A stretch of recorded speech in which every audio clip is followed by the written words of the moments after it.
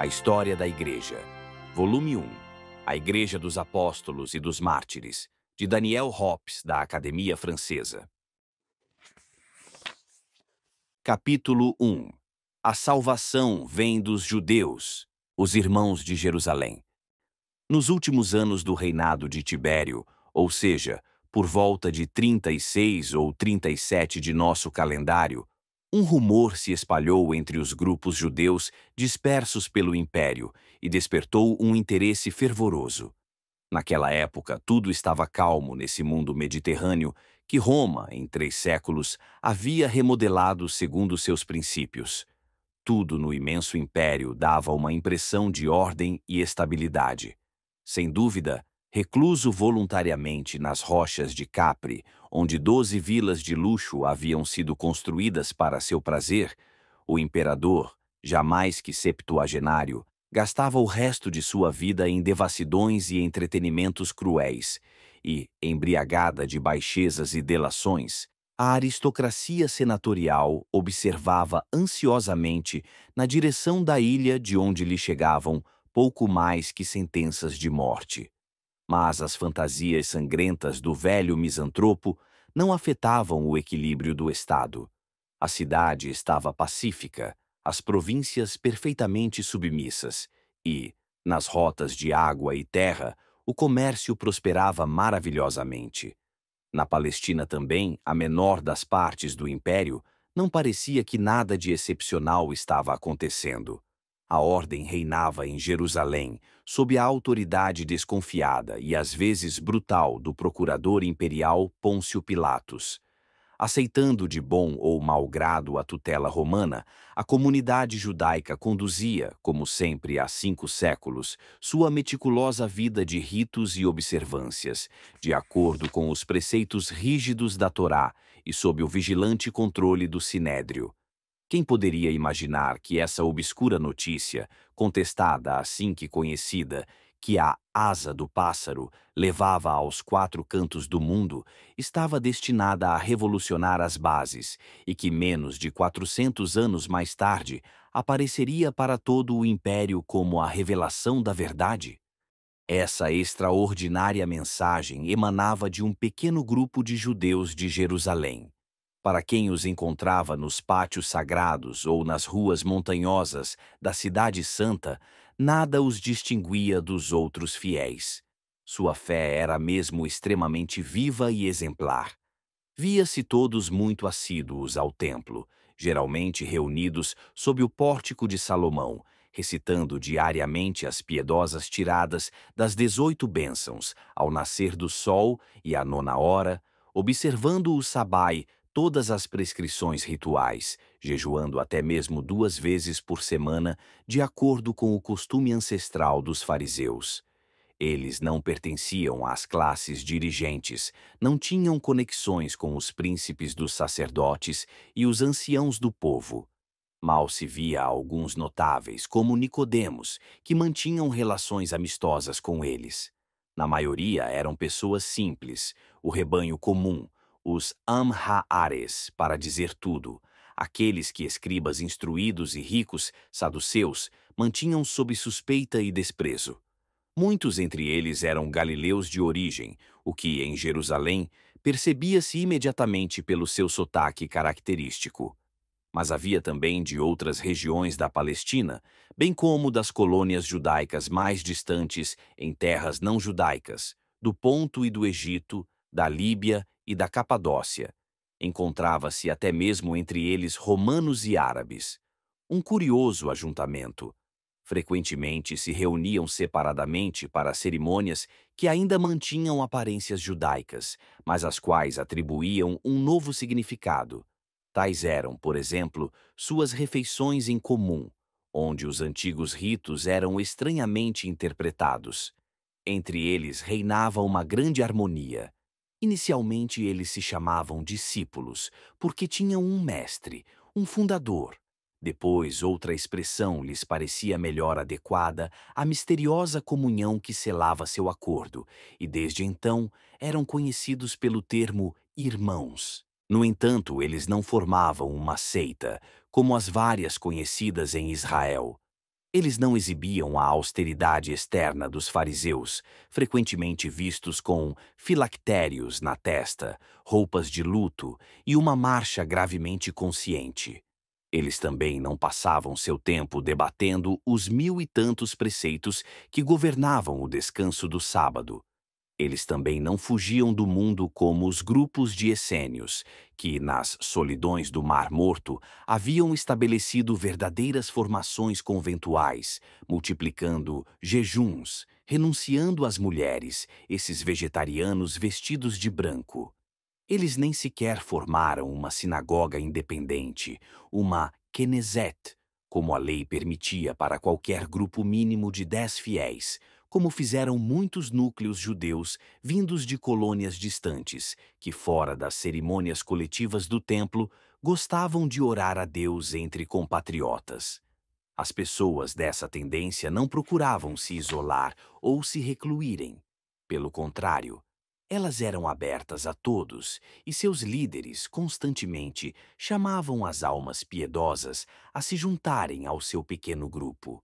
Se alguém quisesse ligá-los a uma das correntes religiosas estabelecidas, a única que teria sido apropriada seria a dos pobres de Israel, os Anauim, que, escandalizados pelo luxo da casta sacerdotal e muito iletrados para serem contados entre os fariseus, reagiam pelo seu humilde zelo ao que viam como maldade no povo mais santo, e sua única regra de vida era aquela dada pelo Salmo Feliz é aquele que teme o Senhor e anda em seus caminhos.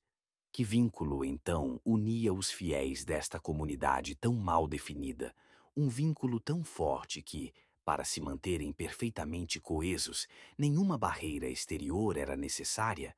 E por que eles permaneciam agrupados em Jerusalém, como se, no lugar invariável da ação divina, algum evento estivesse acontecendo, do qual eles possuíam o segredo? O grito do mensageiro da alegria. A resposta estava contida em uma frase breve, expressando toda a sua fé. O Messias veio entre nós. O mundo deixou essa expressão se desgastar. Ela perdeu seu sentido de revelação misteriosa, sua novidade impactante. Para entender o peso que tinha naquela época, seria necessário redescobrir as raízes vivas da tradição judaica sentir profundamente dentro de si mesmo essa expansão de amor e esse terror majestoso que uma alma fiel experimentava ao simplesmente evocar essa vinda. Era das profundezas da história de Israel que a corrente messiânica surgia. Originalmente estava ligada ao dogma nacional da eleição divina. Carregava, através dos séculos, a fé na antiga promessa feita por Yahvé ao patriarca Abraão reafirmada muitas vezes depois a Jacó no sonho de Betel, a Moisés no Monte Sinai em chamas e aos reis na glória de sua capital. Quando a desgraça soprava seu vento de morte sobre o povo escolhido, nada podia secar essa água viva. Pelo contrário, mais poderosa, mais precisa, a crença ancestral se tornava esperança e consolação. Os grandes profetas se referiam a ela incessantemente. Isaías, em um capítulo admirável, o décimo primeiro, detalhou os dias em que o rebento de Jessé seria como um estandarte erguido para os povos. Ezequiel viu os mortos ressuscitarem e a futura Jerusalém renascer das cinzas da antiga. O livro de Daniel, capturando toda a história como um todo, tinha apontado o fim providencial, o estabelecimento do reino de Deus na terra pela restauração gloriosa de Israel e a formação de um povo santo. Especialmente desde o retorno do exílio, essa grandiosa imagem se tornou mais personalizada. A realização da antiga promessa seria um evento feito por Deus, mas não diretamente. O Altíssimo usaria um intermediário sagrado, um ungido, um Messias, um Cristo, a tendência profunda, sempre presente no coração humano, de personificar os sonhos mais queridos em seres que poderiam amar, coincidia com o dogma nacional da eleição. Confusa, contraditória, mas singularmente presente nas consciências, a imagem do personagem sobrenatural que viria para restaurar Israel a si mesmo e realizar a obra de Yahweh se impôs cada vez mais. No início do primeiro século de nossa era, não há dúvida de que a corrente messiânica permeava o melhor da consciência judaica. Naquela época, as esperanças temporais pareciam obsoletas. Os descendentes dos Macabeus haviam sido massacrados. Os principais herodianos e funcionários de Roma dividiam a terra prometida. Mas nenhum dos judeus pensava em se entregar ao desespero. Pelo contrário, bastava abrir os evangelhos para perceber o tremor de esperança que constantemente percorria a sagrada raça. Quando João Batista pregava à beira do Jordão, o que vieram perguntar os sacerdotes e os levitas? Se ele era o Messias. O que André disse correndo ao encontro de Simão? Encontrei o Messias. E em sua humilde fé, o que a mulher samaritana confessou ainda ao seu interlocutor diante do poço? Eu sei que o Messias deve vir. Quando ele vier, ele nos explicará tudo. Sem dúvida, a imagem do Messias era interpretada de muitas maneiras diferentes nos vários setores da sociedade judaica. Cada um entendia o messianismo de acordo com seu temperamento e cultura. Um nacionalista fanático via o Salvador como uma espécie de Judas Macabeu, implacável com os inimigos. Um fariseu o imaginava como um mestre eminentemente virtuoso, a encarnação viva da lei sagrada. O povo comum, sempre ávido por maravilhas, o envolvia com o sobrenatural e a miragem. E às vezes, aproveitando-se da violência dessa esperança, um aventureiro se levantava e chamava seus compatriotas para a realização imediata da promessa. Ele tinha sido chamado, por sua vez, Judas, Simão, Atrogés. Todos, um após o outro, após algumas semanas de agitação, tinham caído sob o pilum guardião da ordem mas isso não servia de lição. Um gênero literário extremamente popular entre o segundo século antes de nossa era e o primeiro depois explorava incansavelmente essa veia. O apocalíptico, cujo ponto de partida pode ser visto no livro bíblico de Daniel e o culminar no Apocalipse de São João.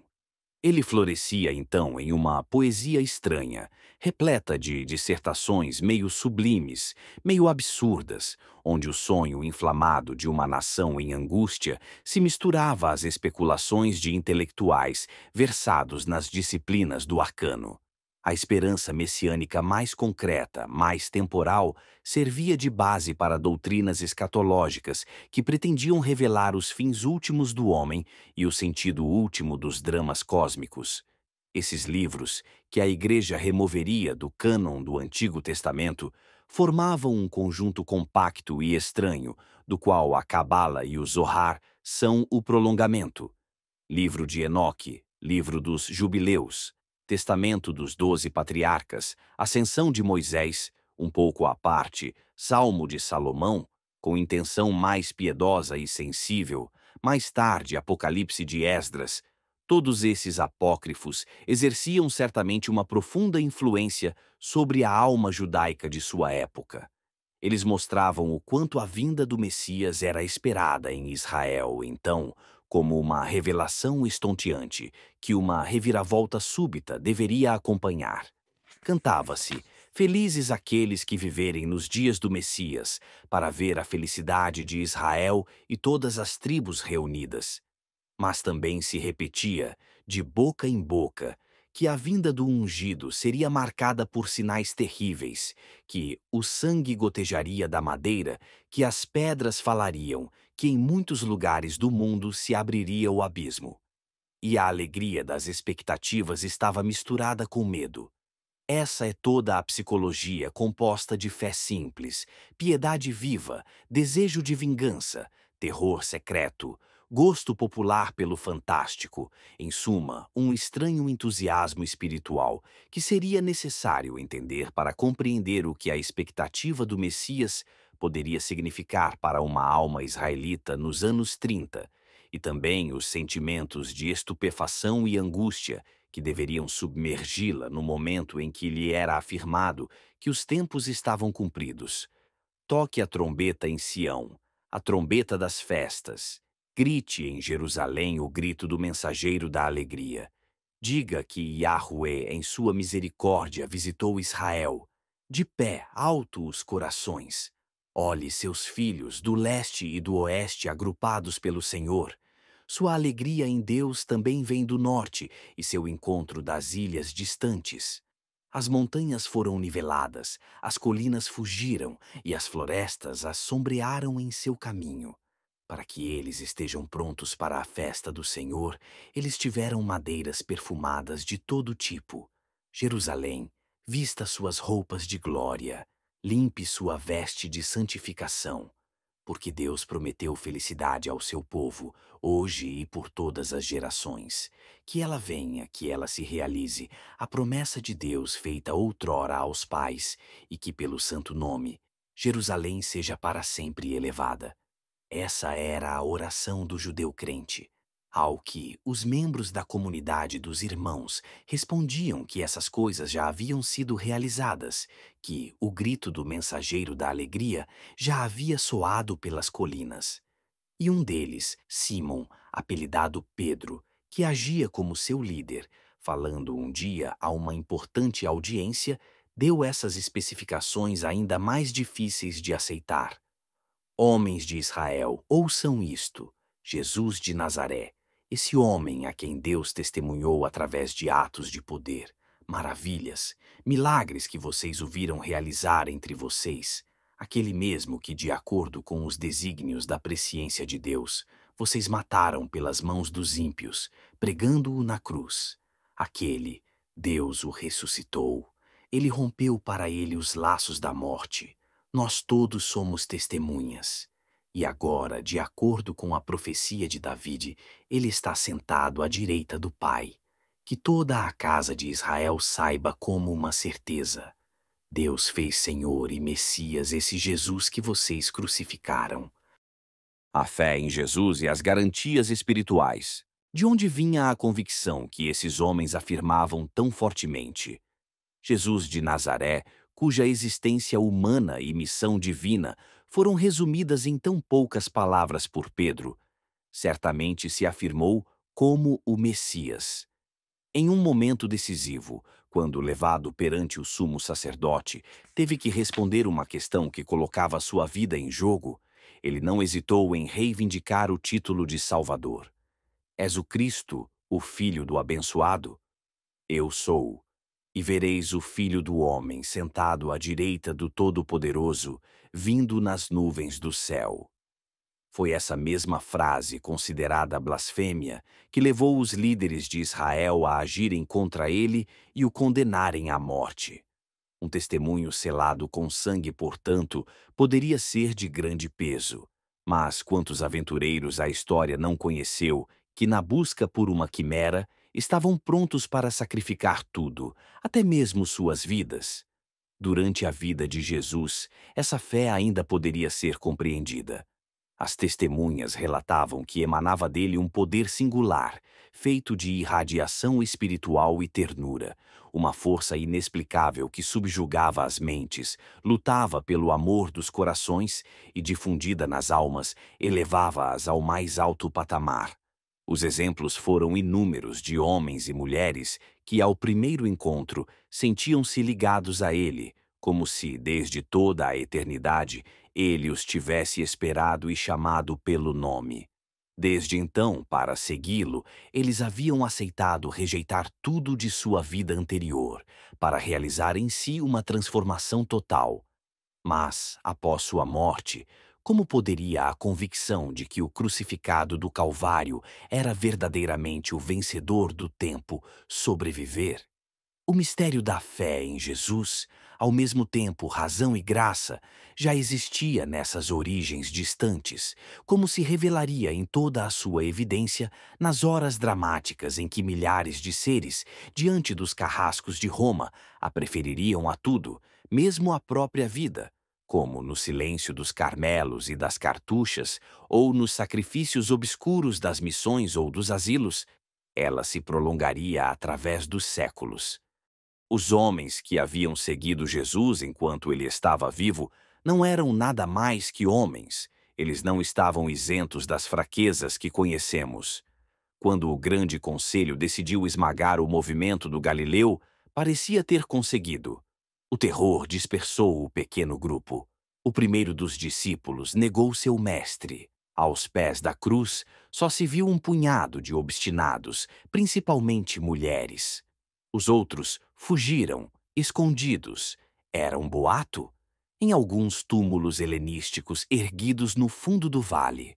Por que então judeus piedosos, bons cidadãos da Cidade Santa, permaneceriam fiéis à memória desse agitador derrotado que deveria parecer-lhes justamente punido pelas autoridades?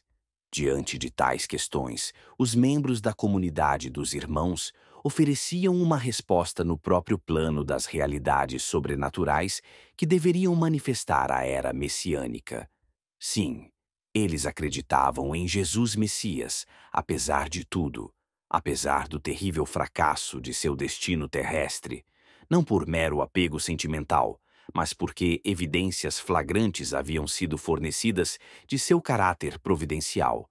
Essas garantias sobrenaturais eram quatro.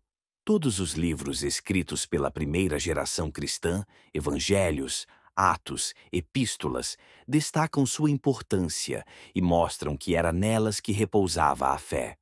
A primeira garantia foi dada pelo próprio Jesus na véspera de sua morte, na noite de quinta-feira.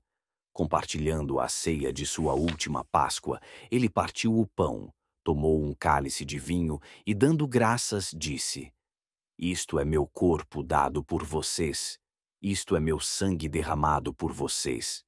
Com esse gesto, ele condensou em uma fórmula sacramental um ensinamento sobre o qual havia insistido repetidamente.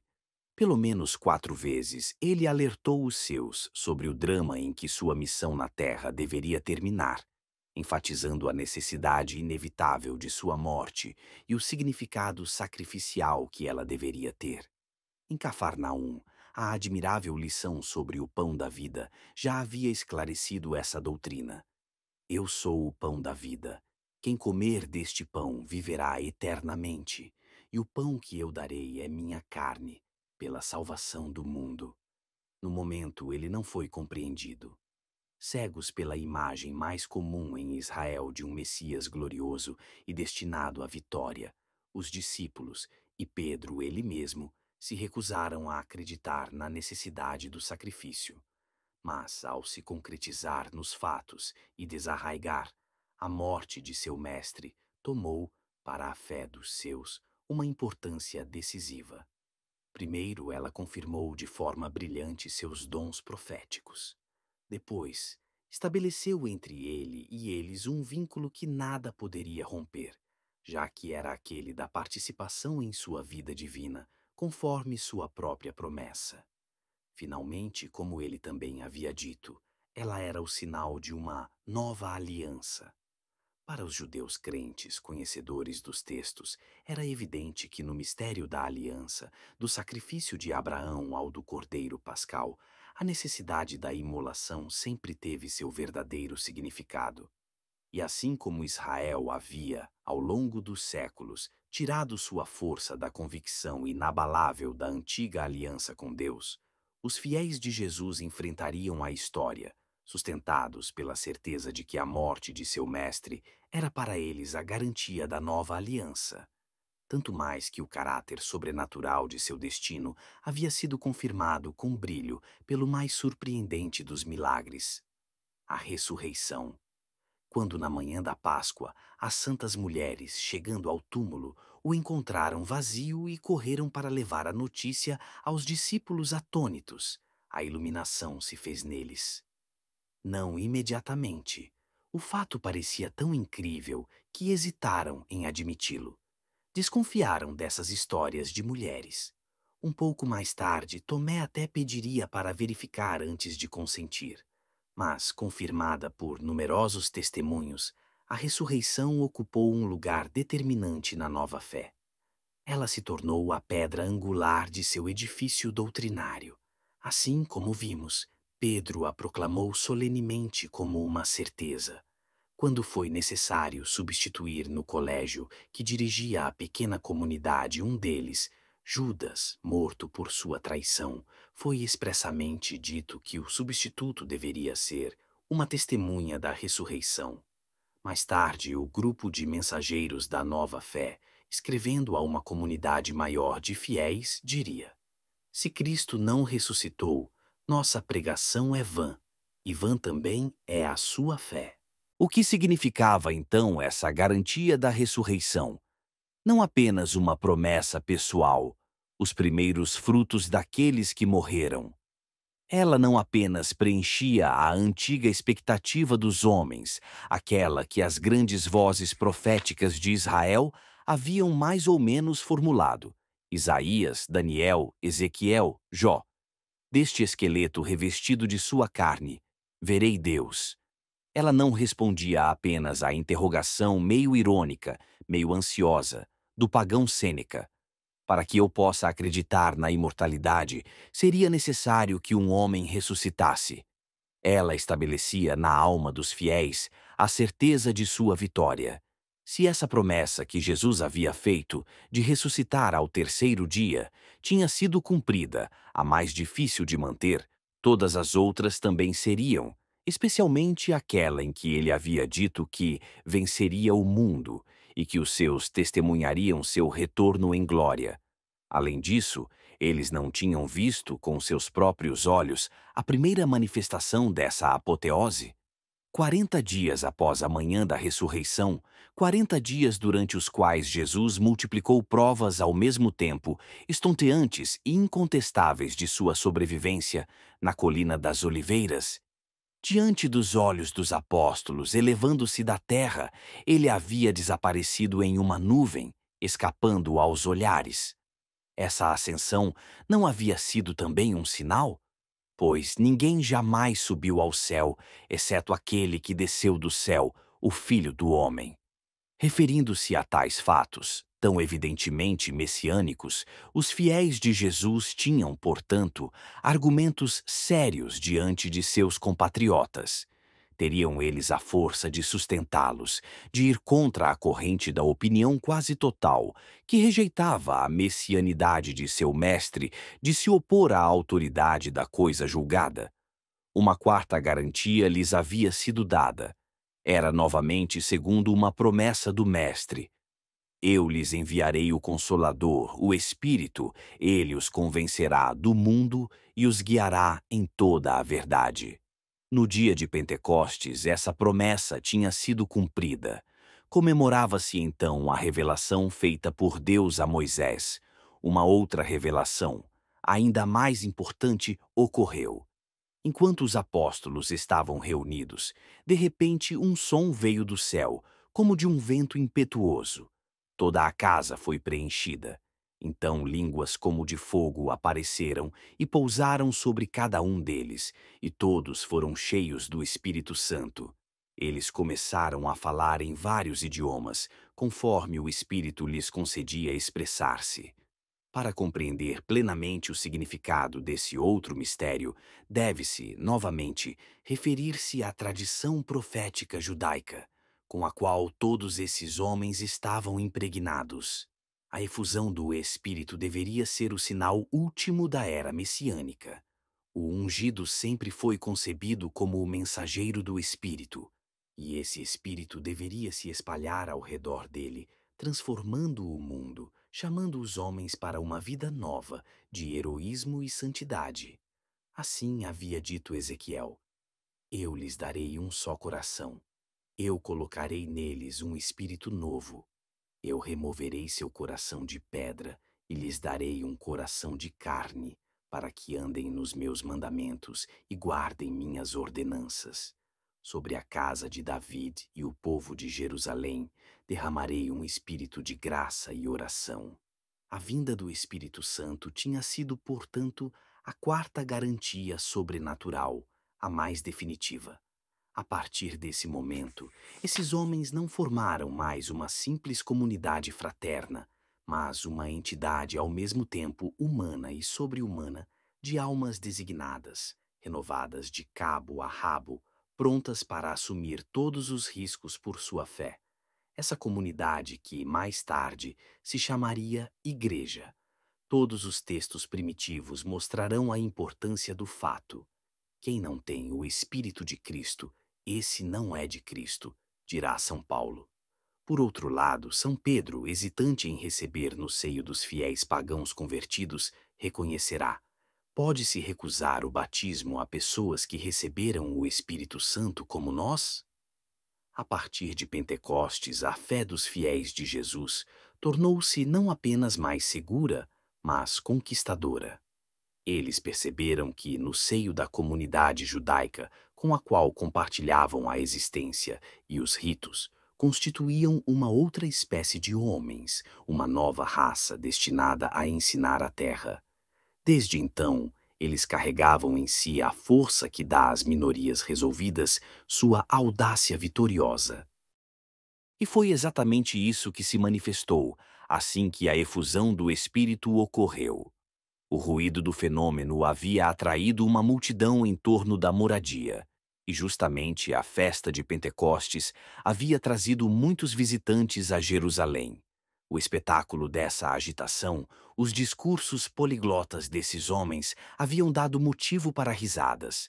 Alguns zombaram. Eles beberam muito vinho doce. Mas Pedro se levantou. Ele enfrentou a multidão.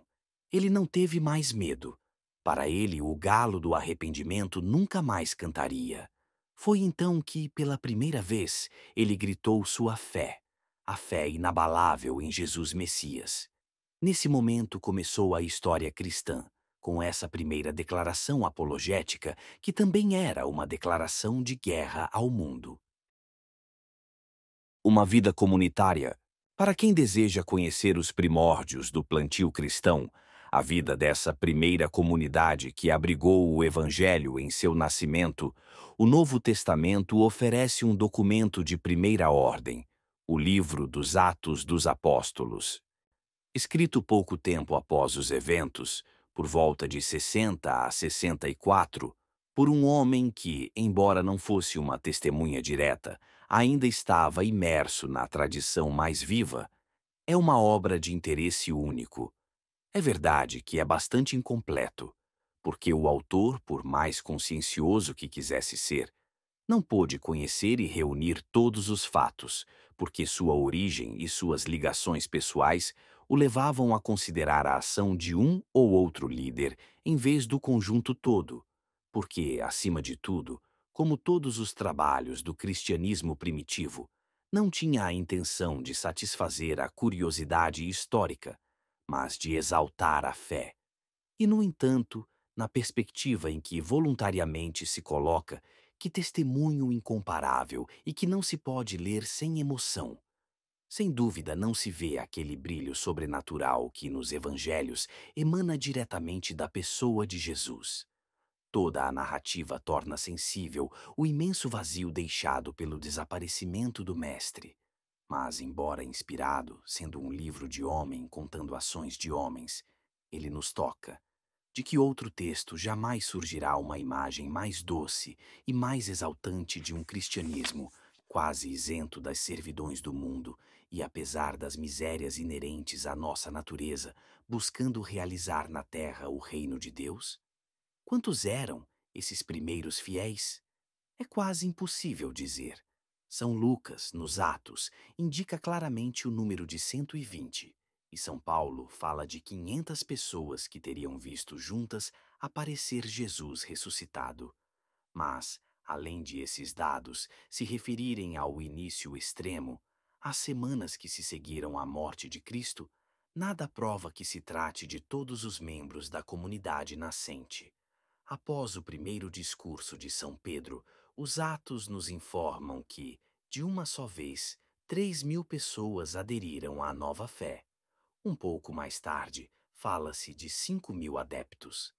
Pensando que, por volta de 35 ou 37, Jerusalém contava alguns milhares de crentes, mas que ainda era uma pequena minoria na cidade, deve-se estar próximo da verdade. De sua organização também, não se pode ter mais que uma ideia aproximativa. Eles certamente tinham uma. Toda empresa humana supõe, e o próprio sucesso do cristianismo no plano temporal prova que seu crescimento obedeceu a essa lei profunda da história, que quer que, para se desenvolver, um movimento tenha estruturas sólidas, um princípio de comando, um método de ação, tudo em relações estreitas, e como que fazendo corpo com a doutrina. Tudo isso, aliás, Jesus mesmo havia dado aos seus, e é mesmo, para quem sabe ler o Evangelho, um dos aspectos mais surpreendentes de sua atividade na Terra, esse esforço prático de organização e educação que ele realizou e cujas consequências se estendem até nós. Tudo prova que Deus feito homem, ele sabia que, para sobreviver a ele, sua obra precisaria de instituições humanas. Os fundamentos institucionais criados por ele se discernem na comunidade primitiva. Tem-se a impressão de que os apóstolos, seus primeiros testemunhos, aqueles que ele próprio designou e estabeleceu, gozam, como é natural, de grande autoridade moral. O número de doze ao qual ele fixou sua pequena tropa certamente tem um valor de sinal, pois mal se soube do suicídio de Judas Antes mesmo que soprasse o vento sagrado de Pentecostes, Pedro pediu aos outros que o substituíssem por cooptação, e o colégio apostólico, tendo proposto dois candidatos, o Espírito Santo, por meio de um sorteio, designou Matias. Entre os doze, Pedro parece ocupar um lugar de destaque. O que ele fez na ocasião dessa eleição, muitas vezes o veremos repetir. Ele é quem toma as iniciativas. Sua opinião tem peso.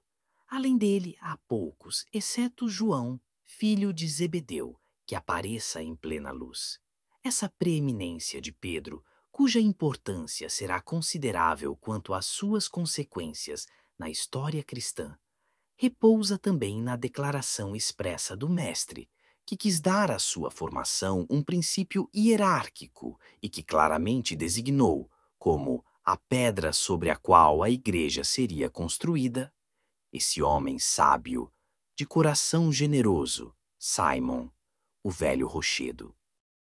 Junto aos apóstolos há certamente ajudantes, assistentes, uma espécie de apóstolos secundários. Eles estão ligados ao colégio ampliado dos 70 ou 72, que, no segundo ano de sua missão, vendo o número de seus fiéis crescer, Jesus mesmo instituiu? Eles são a origem desses presbitérios que se encontrará em todas as comunidades cristãs? Qual era exatamente o papel deles? Não se pode precisar. Também se tem a impressão de que, ao lado da autoridade apostólica, existe, na comunidade de Jerusalém, e talvez em um plano diferente, a de outras personalidades, notadamente de Tiago, chamado o irmão do Senhor, ou seja, um de seus primos germânicos. Eusébio, o primeiro dos historiadores cristãos, coletando no século IV, sobre essas origens distantes, tradições diferentes daquelas dos evangelhos e dos atos, insistirá no papel deste personagem muito santo que não bebia vinho, nem bebida inebriante, nem nada que tivesse vida, e cuja pele dos joelhos havia se tornado calosa como a dos camelos, tanto ele permanecia ajoelhado em orações. Deve-se ver neste Tiago, segundo tal retrato, o chefe de uma tendência especificamente judaica que teria confinado a nova fé no quadro de um estrito legalismo, em oposição mais ou menos nítida com a do colégio apostólico, a preferir o espírito à letra, as instituições da primeira comunidade teriam então rapidamente refletido essa divergência de interpretação da mensagem de Jesus que veremos, de fato, ocorrer. Mas provavelmente é exagerado situar nos termos de uma oposição visível de pessoas o que deve ter sido, no início, uma simples diferença de ênfase. Muitos laços sólidos existiam entre esses fiéis para que as reações da natureza humana viessem gravemente comprometer uma unidade admirável. Não mais do que os detalhes da organização, podemos comentar com a precisão que gostaríamos os ritos e as observâncias que caracterizavam os primeiros fiéis. No entanto, discerniremos três fundamentais e que constituirão posteriormente as bases da vida religiosa cristã: o batismo, a imposição das mãos, a refeição comunitária. Do batismo, os atos, como as epístolas de São Paulo, presumem que é evidente nas primeiras igrejas e que todo novo adepto o recebe no momento de sua admissão. Por quê? Obviamente, porque Jesus o havia recebido de João Batista e que posteriormente seus discípulos tinham batizado.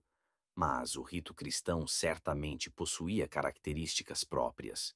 O batismo joanino diferenciava-se das abluções judaicas e dos mique, rituais por ser um batismo de penitência. O dos cristãos também inclui a vontade de renovação e purificação moral, mas implica algo mais. Os atos dizem que cada um deve ser, para o perdão de seus pecados, batizado em nome de Jesus Cristo. E veremos São Paulo, em Éfeso, encontrando batizados de João, revelando-lhes que o rito por eles realizado não era suficiente e batizando-os novamente em nome de Jesus. Deve-se então admitir que, segundo uma fórmula que nos escapa, os batizados da nova fé deveriam reconhecer a messianidade de Jesus e abjurar o erro nacional cometido sobre sua pessoa? A ação sobrenatural do batismo parece ter sido completada em outra cerimônia, a imposição das mãos. Mais uma vez, trata-se de uma prática muito antiga israelita, cujos exemplos são inúmeros no Antigo Testamento, quando era necessário conferir a um ser uma eficácia sobrenatural, poder do pai de família ou potência real. Ela também era familiar a Jesus. Renan via nela o ato sacramental por excelência da Igreja de Jerusalém, o que pode ser demais dizer. Mas é certo que a encontramos repetida muitas vezes na história dos primeiros tempos cristãos. Qual é exatamente o seu significado? É difícil fixá-lo. Provavelmente ela deveria corresponder a uma transmissão direta de todos os dons que o Espírito Santo tinha concedido aos primeiros discípulos no dia de Pentecostes dons de graça, de luz, de coragem e de sabedoria. O batismo teria, portanto, aberto aos crentes a porta da verdade a imposição das mãos, confirmando-os, permitiria que continuassem no caminho.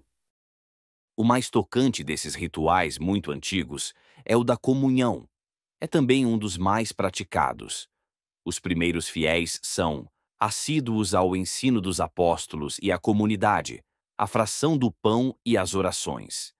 Essas ágapes comuns são verdadeiras refeições. O texto é formal.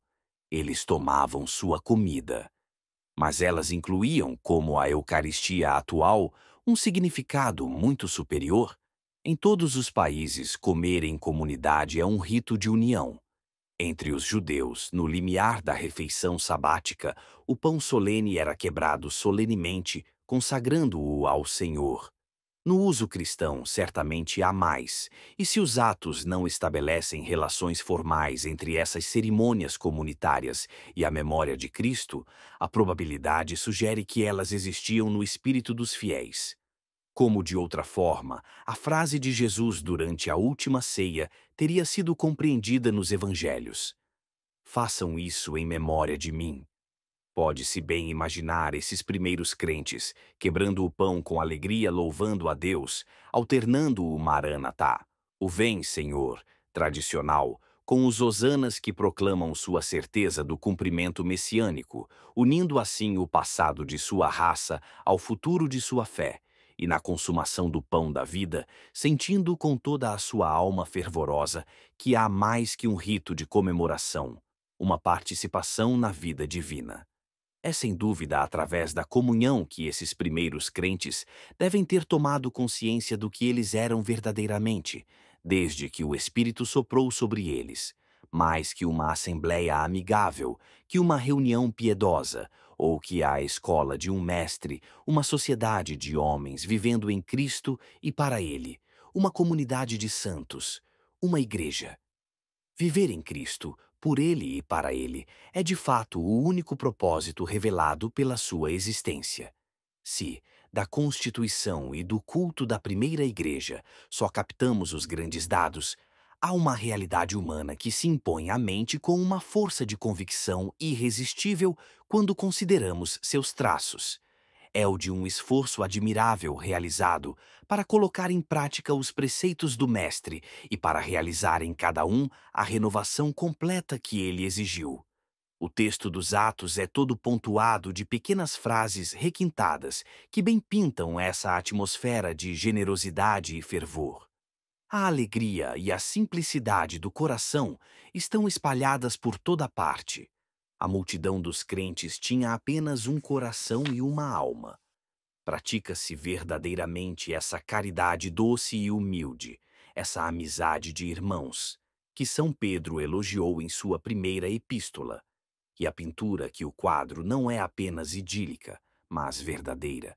É que o redator dos Atos não hesita em marcá-la com sombras, deixando ver que a natureza humana, retomando o controle, às vezes introduzia um traço de miséria e pecado. Cristo ainda está lá, muito próximo. Muitos conheceram dos que dirigem a comunidade. Eles evocam lembranças pessoais, eles relatam o que viram e ouviram quando ele ensinava no lago de Tiberíades ou entre a multidão, nos pórticos do templo. Todos os detalhes que possuímos sobre sua vida, nós os reunimos, e assim se elabora uma catequese que se fixará em tradição oral antes de ser escrita e de se tornar o Evangelho. A presença do Mestre é perceptível no coração das almas como já foi para Madalena e para os discípulos de Emaús, cada um a experimenta dentro de si mesmo, em uma certeza perturbadora, em um calor emocionante. Fique conosco, Senhor. O Mestre está aqui. Uma vida espiritual intensa se manifesta, compete-se no esforço de santidade. O mundo parece brotar em todos os lugares em graças, prodígios e milagres se multiplicam, sem cessar visivelmente se cumpre a promessa: Aquele que acredita em mim, rios de água viva jorrarão de seu seio. E como a expectativa apocalíptica que jaz no coração de Israel se mistura secretamente a essas imagens, pergunta-se se o retorno em glória do Messias não está muito próximo, se não se vai vê-lo reaparecer nas nuvens do céu em uma manifestação terrível. Ah, como é hora para as virgens sábias de verificar o óleo da lâmpada e de preparar sua alma para a visita do esposo. Um traço importante e muitas vezes comentado dessa era cristã primitiva procede tanto do ideal de fraternidade quanto da convicção, pelo menos em alguns, de uma próxima parousia. Os atos relatam que os fiéis colocavam tudo em comum, Todos aqueles que possuíam campos ou casas os vendiam e traziam o preço do que tinham vendido e o depositavam aos pés dos apóstolos. Em seguida, distribuía-se a cada um segundo suas necessidades. Assim, o preceito ensinado por Jesus ao jovem rico teria se tornado regra comum. Venda o que você tem, distribua aos pobres e você terá um tesouro no céu. Cita-se com admiração um homem, José chamado Barnabé, cuja generosidade parece ter sido comunicativa. Por outro lado, relata-se com terror a história dos dois cônjuges, Ananias e Safira, que tentaram enganar o Espírito Santo, fingindo trazer todos os seus bens à comunidade, os quais não lhes eram impostos, enquanto escondiam uma parte, e que a justiça divina fulminou um após o outro. Sem ser exigida pela lei, essa prática comunitária parece, portanto, ser geral. Naquela hora, a fraternidade cristã não é uma palavra vã. Este é o quadro apresentado pela primeira igreja. E de século em século, essas imagens tocantes permanecerão na tradição cristã, como um modelo e como um arrependimento. Não podemos calar essas coisas. O desenvolvimento da comunidade cristã logo começaria a apresentar problemas. E, primeiro, o problema das relações com o mundo judeu do qual fazia parte. Já vimos. Os primeiros fiéis de Cristo certamente não estavam fora da obediência à Torá. Jesus não afirmou que não veio abolir a lei, mas cumpri-la. Ele até proclamou: nenhum jota da lei passará que eles estivessem atentos e recolhidos nas orações e cerimônias do templo, que estivessem até mais atentos e mais recolhidos do que muitos outros israelitas, era natural, pois a fé na realização messiânica exaltava suas almas e as aproximava de Deus. No entanto, gradualmente, uma fissura começaria a se formar entre eles e os outros judeus. Sem mesmo que o quisessem, simplesmente porque viviam em Jesus, sua existência na prática começaria a se diferenciar daquela dos que não acreditavam nele. Por exemplo, a festa ritual semanal, o Sabat, meticulosamente dedicada à oração, ocorria no sábado. Como judeus, os primeiros fiéis a observavam, sabemos disso. Mas, ao lado, outra festa lhes era imposta, a do Dia do Senhor, quando se comemorava a ressurreição. Nas epístolas de São Paulo, nos Atos e no termo no texto não canônico chamado Carta de Barnabé, datado de cerca de 132, encontramos a prova de que este primeiro dia da semana era uma festa cristã. Isso resultava em uma rivalidade entre esses dois dias igualmente santos, e, pouco a pouco, foi o domingo que prevaleceu. Por características como essa, os primeiros cristãos começaram a se sentir claramente como judeus diferentes dos outros.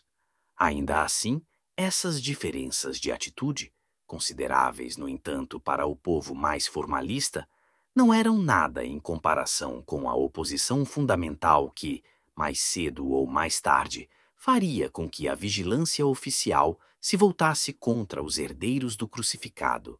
As autoridades sacerdotais poderiam ter ignorado um punhado de fanáticos que resmungavam entre si suas memórias. Desde o momento em que os cristãos continuavam uma propaganda que parecia ter sucesso, elas eram obrigadas a ficar em guarda. Ao afirmar que Jesus era o Messias, os membros da comunidade não se posicionavam apenas como rebeldes contra Deus e a lei, pois seu líder havia sido condenado pelo Tribunal Sagrado sob uma acusação parcialmente grave, segundo um procedimento que não queriam discutir. Eles não eram apenas absurdos, pois era evidente que os grandes sinais da realização messiânica não haviam ocorrido, que os soldados de Roma ainda estavam lá, nas muralhas da fortaleza Antônia, e que Israel não havia recuperado sua glória. Pior ainda, eles atacavam o que sempre encontrava o povo mais suscetível, seu orgulho, e esse orgulho na nação judaica estava ligado à certeza de sua missão. Era toda a tradição messiânica judaica que parecia pesar na consciência dos sacerdotes para decidirem agir. Essa tradição tão naturalmente enraizada no coração de um povo oprimido por cinco séculos esse desejo de recuperar seu orgulho, sua liberdade, sua força, que tantos textos expressavam. Levanta-nos um rei, Senhor, um filho de Davi, e cinge-o de poder, para que os príncipes injustos sejam quebrados e destruídos os pagãos ímpios. Não era que uma outra visão messiânica não existisse nos livros sagrados, e notavelmente no famoso capítulo 53 de Isaías, segundo o qual o servo de Yahweh sofreria e morreria, transpassado pelos pecados dos homens. Muitos rabinos a conheciam perfeitamente, mas eles a consideravam tão revoltante, tão pouco conforme a grande imagem do Israel bíblico, guiado por Yahweh para a glória, que hesitavam em aceitá-la. Alguns se perguntavam se as frases proféticas não se aplicavam a um personagem diferente do ungido do Senhor.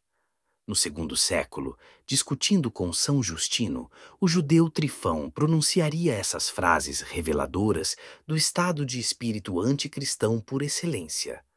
Sabemos que as Escrituras anunciam um Messias sofredor que retornará em glória para receber o reino eterno do universo mas que ele deva ser crucificado, morrer em tal grau de vergonha e infâmia, de uma morte amaldiçoada pela lei, prove-nos isso, pois nem conseguimos concebê-lo. O conflito era, portanto, inevitável, e o livro dos Atos mostra um episódio logo nos primeiros capítulos, 3 e 4. Foi pouco tempo, sem dúvida, após Pentecostes. Pedro e João subiram ao templo para a oração da nona hora. Eles já haviam passado pelo pátio dos gentios, onde qualquer um pode entrar, mesmo não circuncidado, e pelo tumulto barulhento das mesas dos cambistas, dos comerciantes de gado sacrificial, dos curiosos e transeuntes. Eles subiam a escada do pátio quando um paralítico lhes pediu esmola. Não tenho ouro nem prata, respondeu São Pedro, mas o que tenho te dou. Em nome de Jesus de Nazaré, ande. O rumor do milagre se espalhou. A multidão correu para o pórtico de Salomão, onde cercaram o taumaturgo. O apóstolo falou. Ele aproveitou a oportunidade. Ele afirmou que foi em nome de Jesus, aquele que foi crucificado, que a cura surpreendente ocorreu. Ele reafirmou sua fé em Jesus Messias. Aqueles que o ouviam, aqueles que haviam matado o Mestre e até seus líderes haviam pecado por ignorância. Mas agora que se arrependessem, que se convertessem. Nesse momento surgiram sacerdotes e o comandante da guarda do templo. Eles prenderam os apóstolos, jogando-os na prisão. No dia seguinte, o sinédrio se reuniu, presidido por Anás, o sumo sacerdote. Caifás estava lá também, uma velha conhecida, e provavelmente muitos daqueles que haviam condenado Jesus. Pedro foi interrogado, animado pelo Espírito Santo. Mais uma vez ele falou. Ele desafiou a vingança do tribunal. A pedra que vocês rejeitaram tornou-se a pedra angular. Não há salvação senão em Jesus, e sob o céu não foi dado aos homens outro nome pelo qual possamos ser salvos. O sinédrio pareceu mais hesitante do que feroz. Talvez estivesse apenas sendo astuto. Essa agitação se extinguiria por si mesma. Ordenou-se aos dois homens que não falassem nem ensinassem em nome de Jesus. E então Pedro e João deram a resposta que se tornaria o axioma fundamental da propaganda cristã. Não podemos calar essas coisas que vimos e ouvimos. É melhor obedecer a Deus do que aos homens. Assim se definia a oposição cada vez mais flagrante entre os judeus da Torá e os judeus da cruz. Muito rapidamente, a relativa mansidão dos líderes de Israel seria substituída por uma severidade crescente. Pedro e João experimentariam isso eles mesmos, quando, tendo começado a pregar a boa nova novamente e sendo novamente presos, Desta vez seriam açoitados. Por um lado, as autoridades em Jerusalém e logo em todos os lugares lutariam por todos os meios ao seu alcance contra a propaganda da nova mensagem. Por outro lado, os primeiros cristãos, fiéis ao ensino do Mestre, se recusariam a colocar a luz sob o alqueire. Eles não poderiam se calar. Quanto mais os perseguissem, mais força e audácia teriam, felizes por serem considerados dignos de sofrer opróbrios pelo nome de Jesus. A palavra semeada fora de Jerusalém. A expansão do cristianismo começou imediatamente após sua fundação e nunca cessará. Esse é o traço mais marcante de toda a sua história. A Igreja não é uma entidade estagnada, definida e delimitada de uma vez por todas. É uma força viva que progride, uma realidade humana que se desenvolve na sociedade de acordo com uma lei que parece orgânica. Também ela sabe se adaptar às circunstâncias, utilizar as condições de local e tempo a seu favor, ser prudente em sua audácia e lentamente persuasiva, até mesmo nas rupturas que determina, sem nunca perder de vista seu único objetivo, o estabelecimento do reino de Deus. A primeira expansão ocorreu dentro do âmbito restrito de Jerusalém, mas, pela própria força das coisas, logo transbordou, e primeiro por toda a Palestina e suas imediações imediatas. É difícil para nós, acostumados como estamos com os modernos meios de comunicação, imaginar a importância dos deslocamentos que os povos da antiguidade podiam realizar sem automóveis ou ferrovias. Apenas aqueles que viveram no Oriente ou em países árabes conhecem essa notável mobilidade de raças que parecem desprezar o cansaço das viagens e desprezar nossos gostos caseiros. No limiar do Evangelho, não vemos Maria, embora grávida, fazer a longa distância de Nazaré a Ain Karim para visitar Elizabeth, e então, alguns meses depois, com seu esposo, cruzar novamente 150 quilômetros para ir a Belém e, pouco depois do nascimento da criança, partir para o Egito pela terrível trilha do Negev?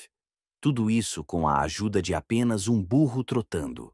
Precisamos imaginar o povo de Israel em constante movimento no cenário da Terra Santa, estradas percorridas por caravanas de camelos e mulas, caravanserais desconfortáveis, cheios de viajantes e mercadorias, e nessas deslocações e encontros, as conversas dos países do Oriente que fazem notícias voarem rapidamente.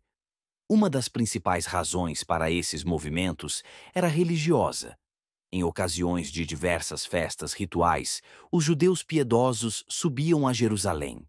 A Páscoa, acima de tudo, atraía para a cidade de Davi multidões comparáveis às que hoje convergem para grandes locais de peregrinações cristãs, ou, no Islã, para Meca. Flávio Joséfo garante que, em certos anos, 255.600 cordeiros foram sacrificados, o que, a uma vítima para cada dez peregrinos, corresponderia a uma maré humana de mais de dois milhões de almas.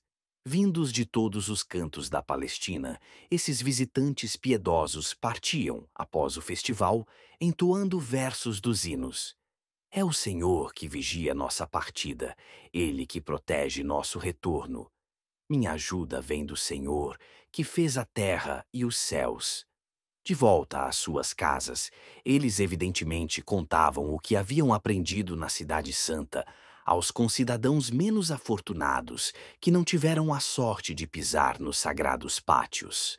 Os fluxos de trocas comerciais e peregrinações, que certamente determinaram o primeiro semear da Boa Nova, não se limitavam apenas à terra prometida Minúsculo cantão entre os imensos territórios de Roma, a Palestina poderia ter sido toda agitada pela proclamação da era messiânica, sem que o mundo percebesse se, entre ela e o resto do império, não existisse uma ligação geográfica extremamente importante. A dispersão judaica, em grego, a diáspora. Lembremos-nos, Há muito que grupos de israelitas haviam sido levados a se estabelecer em terras estrangeiras. Antes do exílio, já, uma colônia hebraica residia em Damasco e lá negociava. No século V, as deportações sucessivas de pessoas de Samaria para a Assíria, dos vencidos de Judá para a Babilônia, haviam deixado colônias vivas ao longo do Eufrates e do Tigre, e até nos planaltos iranianos, como provam as histórias de Tobias e Esther. Muitas outras causas, depois, atuaram no sentido dessa dispersão. Alexandre atraiu judeus para sua nova capital, Alexandria. Ele fixou um grande grupo na Mesopotâmia, concedendo terras. Os Seleucidas, apesar de perseguidores na Palestina, encorajaram assentamentos judaicos na Anatólia. Roma, tendo capturado tropas palestinas a serviço de Antíoco Epifânio, as instalou na Itália. Todas as agitações da história, portanto, impulsionaram a diáspora. Nos primeiros tempos de nossa era, certamente existiam comunidades judaicas em todas as províncias do Império, e a dispersão continuaria por pelo menos mais cem anos. Já o livro dos oráculos sibilinos fazia Israel dizer: Toda a terra está cheia de ti, e mesmo o mar. Flávio Joséfo declarará que seria difícil encontrar uma única cidade onde não houvesse judeus, o que Estrabão confirma em termos quase semelhantes, e Santo Agostinho citará essa palavra de Sêneca. Os costumes e tradições dessa raça secreta estabeleceram-se em todos os países. De fato, encontramos seus rastros tanto em Babilônia quanto na ilha sagrada da Grécia, Delos, ou em Sardes, ou mesmo na Gália romana. Eles eram tão numerosos em Alexandria do Egito que dois dos cinco distritos da cidade eram considerados seu domínio. No norte da África, eles judaizavam tribos berberes e até se sustentou que, alcançando o Níger pelas oásis do Saara, eles teriam levado os germes da curiosa civilização que os Peuls, ou Foulbés, realizariam no reino de Gana.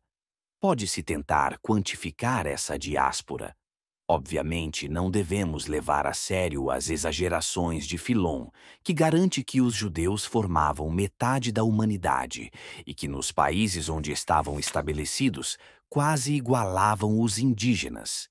Mas é incontestável que eles eram numerosos, muito numerosos, mais numerosos do que hoje na França ou na Alemanha.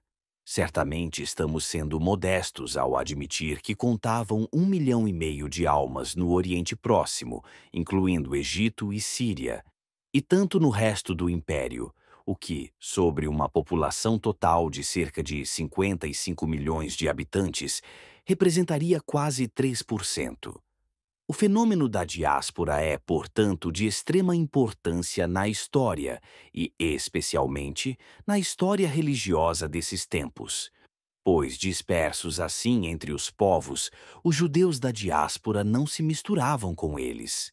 Aparentemente, eles estavam inseridos na vida do país onde residiam, falavam a língua, aceitavam os costumes. Mas, reunidos em suas sinagogas onde comentavam a Santa Torá, dirigidos por um conselho de anciãos e um chefe eleito, eles zelosamente preservavam sua independência espiritual. Eles não constituíam uma massa amorfa e sem vínculo orgânico preciso, como são, por exemplo, os italianos ou poloneses nos Estados Unidos hoje. Eles permaneciam um ramo do povo eleito, destacado do velho tronco pela história, mas permanecendo fiel a ele e constantemente buscando sua seiva. Entre as comunidades judaicas dispersas e a Palestina, as relações eram constantes. Jerusalém permanecia unanimemente a Cidade Santa, a capital espiritual onde batia o coração da nação judaica, em direção à qual se voltavam para a oração onde sonhavam em retornar um dia. O sinédrio, para todos os emigrantes da diáspora, também permanecia uma autoridade suprema, cujas decisões dos tribunais das sinagogas podiam ser apeladas. A partir dos 20 anos de idade, todo judeu, onde quer que estivesse, devia pagar anualmente um didracma, cerca de um franco e noventa e quatro, como imposto sagrado do templo. Além disso, Cofres em todas as cidades do mundo onde viviam judeus coletavam esmolas frequentemente consideráveis, cujo produto era levado solenemente à Cidade Santa. Augusto até havia, por uma série de ordenanças, garantido a liberdade desse trânsito de dinheiro.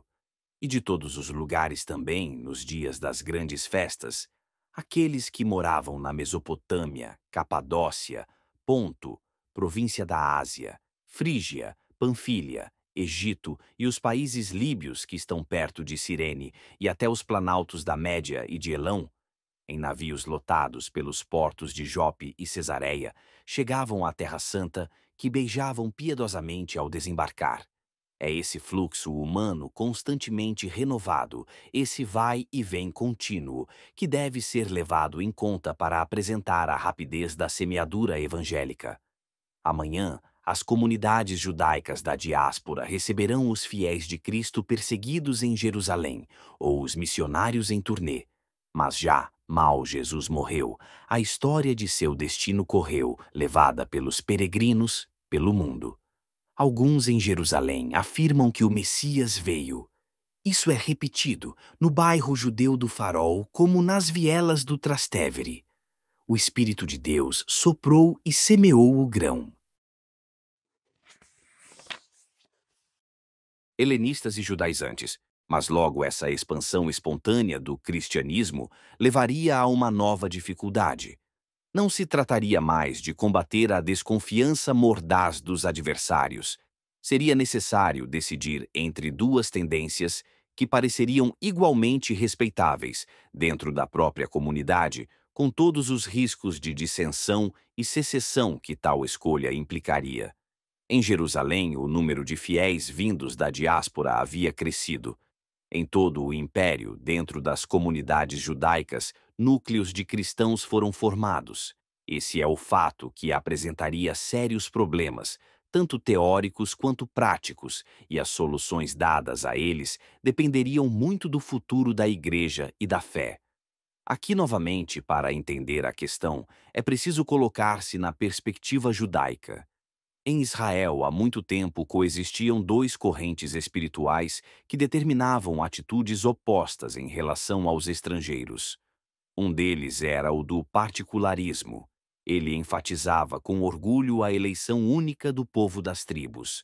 Sublinhava, corretamente, que apenas a resistência feroz às contaminações pagãs permitira sua sobrevivência e cumprimento de sua missão. Ele rejeitava violentamente a noção sagrada dessas raças amaldiçoadas desde a origem, cujo simples contato era uma contaminação. O legislador nos encerrou dentro dos muros de ferro da lei, para que, puros de alma e corpo, não nos misturássemos a nenhuma nação, dizia um escrito judeu do terceiro século, a Carta de Aristéas. Indo da simples repulsa ao ódio ativo, esse sentimento levava a um exclusivismo, do qual os textos bíblicos fornecem muitos exemplos convincentes. Era, em geral, o sentimento dos judeus de Jerusalém e da Palestina, que viviam agrupados em torno do templo, lembrando ainda dolorosamente tudo o que os estrangeiros haviam infligido de sofrimentos à Terra Santa, que ignoravam superbamente o mundo e não tinham interesse em ser seus cidadãos.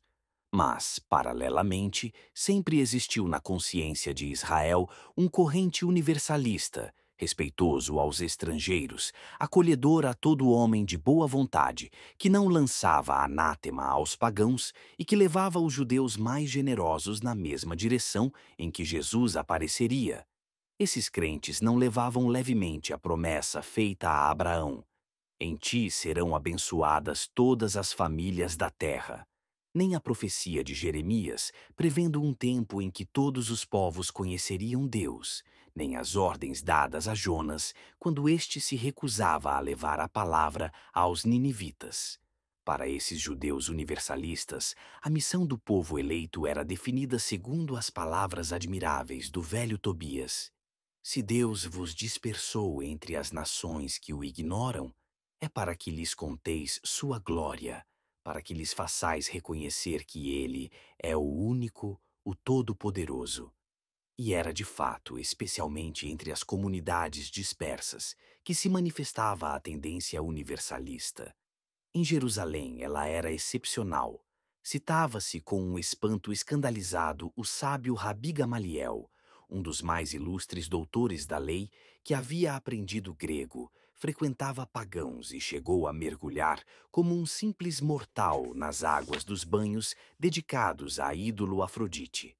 Na diáspora, ao contrário, o judaísmo, embora permanecendo unido ao templo por laços sólidos, havia sofrido, ao longo dos séculos, uma lenta transformação. O espírito lá se abriu.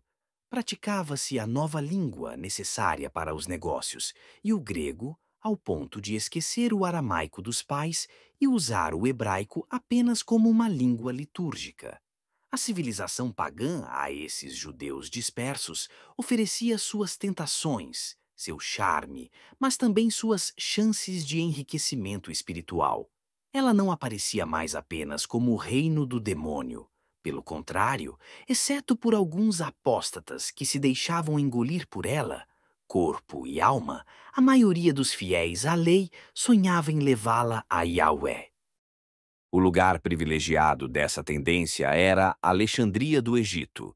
Lá, em contato com o que o mundo helênico possuía de mais sutil e refinado, a enorme colônia judaica havia germinado plantas espirituais e poderosas, ainda enraizadas no solo mosaico, mas estendendo seus caules em pleno céu grego. Lá, segundo uma tradição mais simbólica do que histórica, o faraó Lágida Ptolomeu II fez traduzir os livros sagrados de Israel por uma comissão de 70 sábios, cujas versões, concluídas em 70 dias, milagrosamente coincidiram. Os 70, cujo texto se espalharia por todo lugar.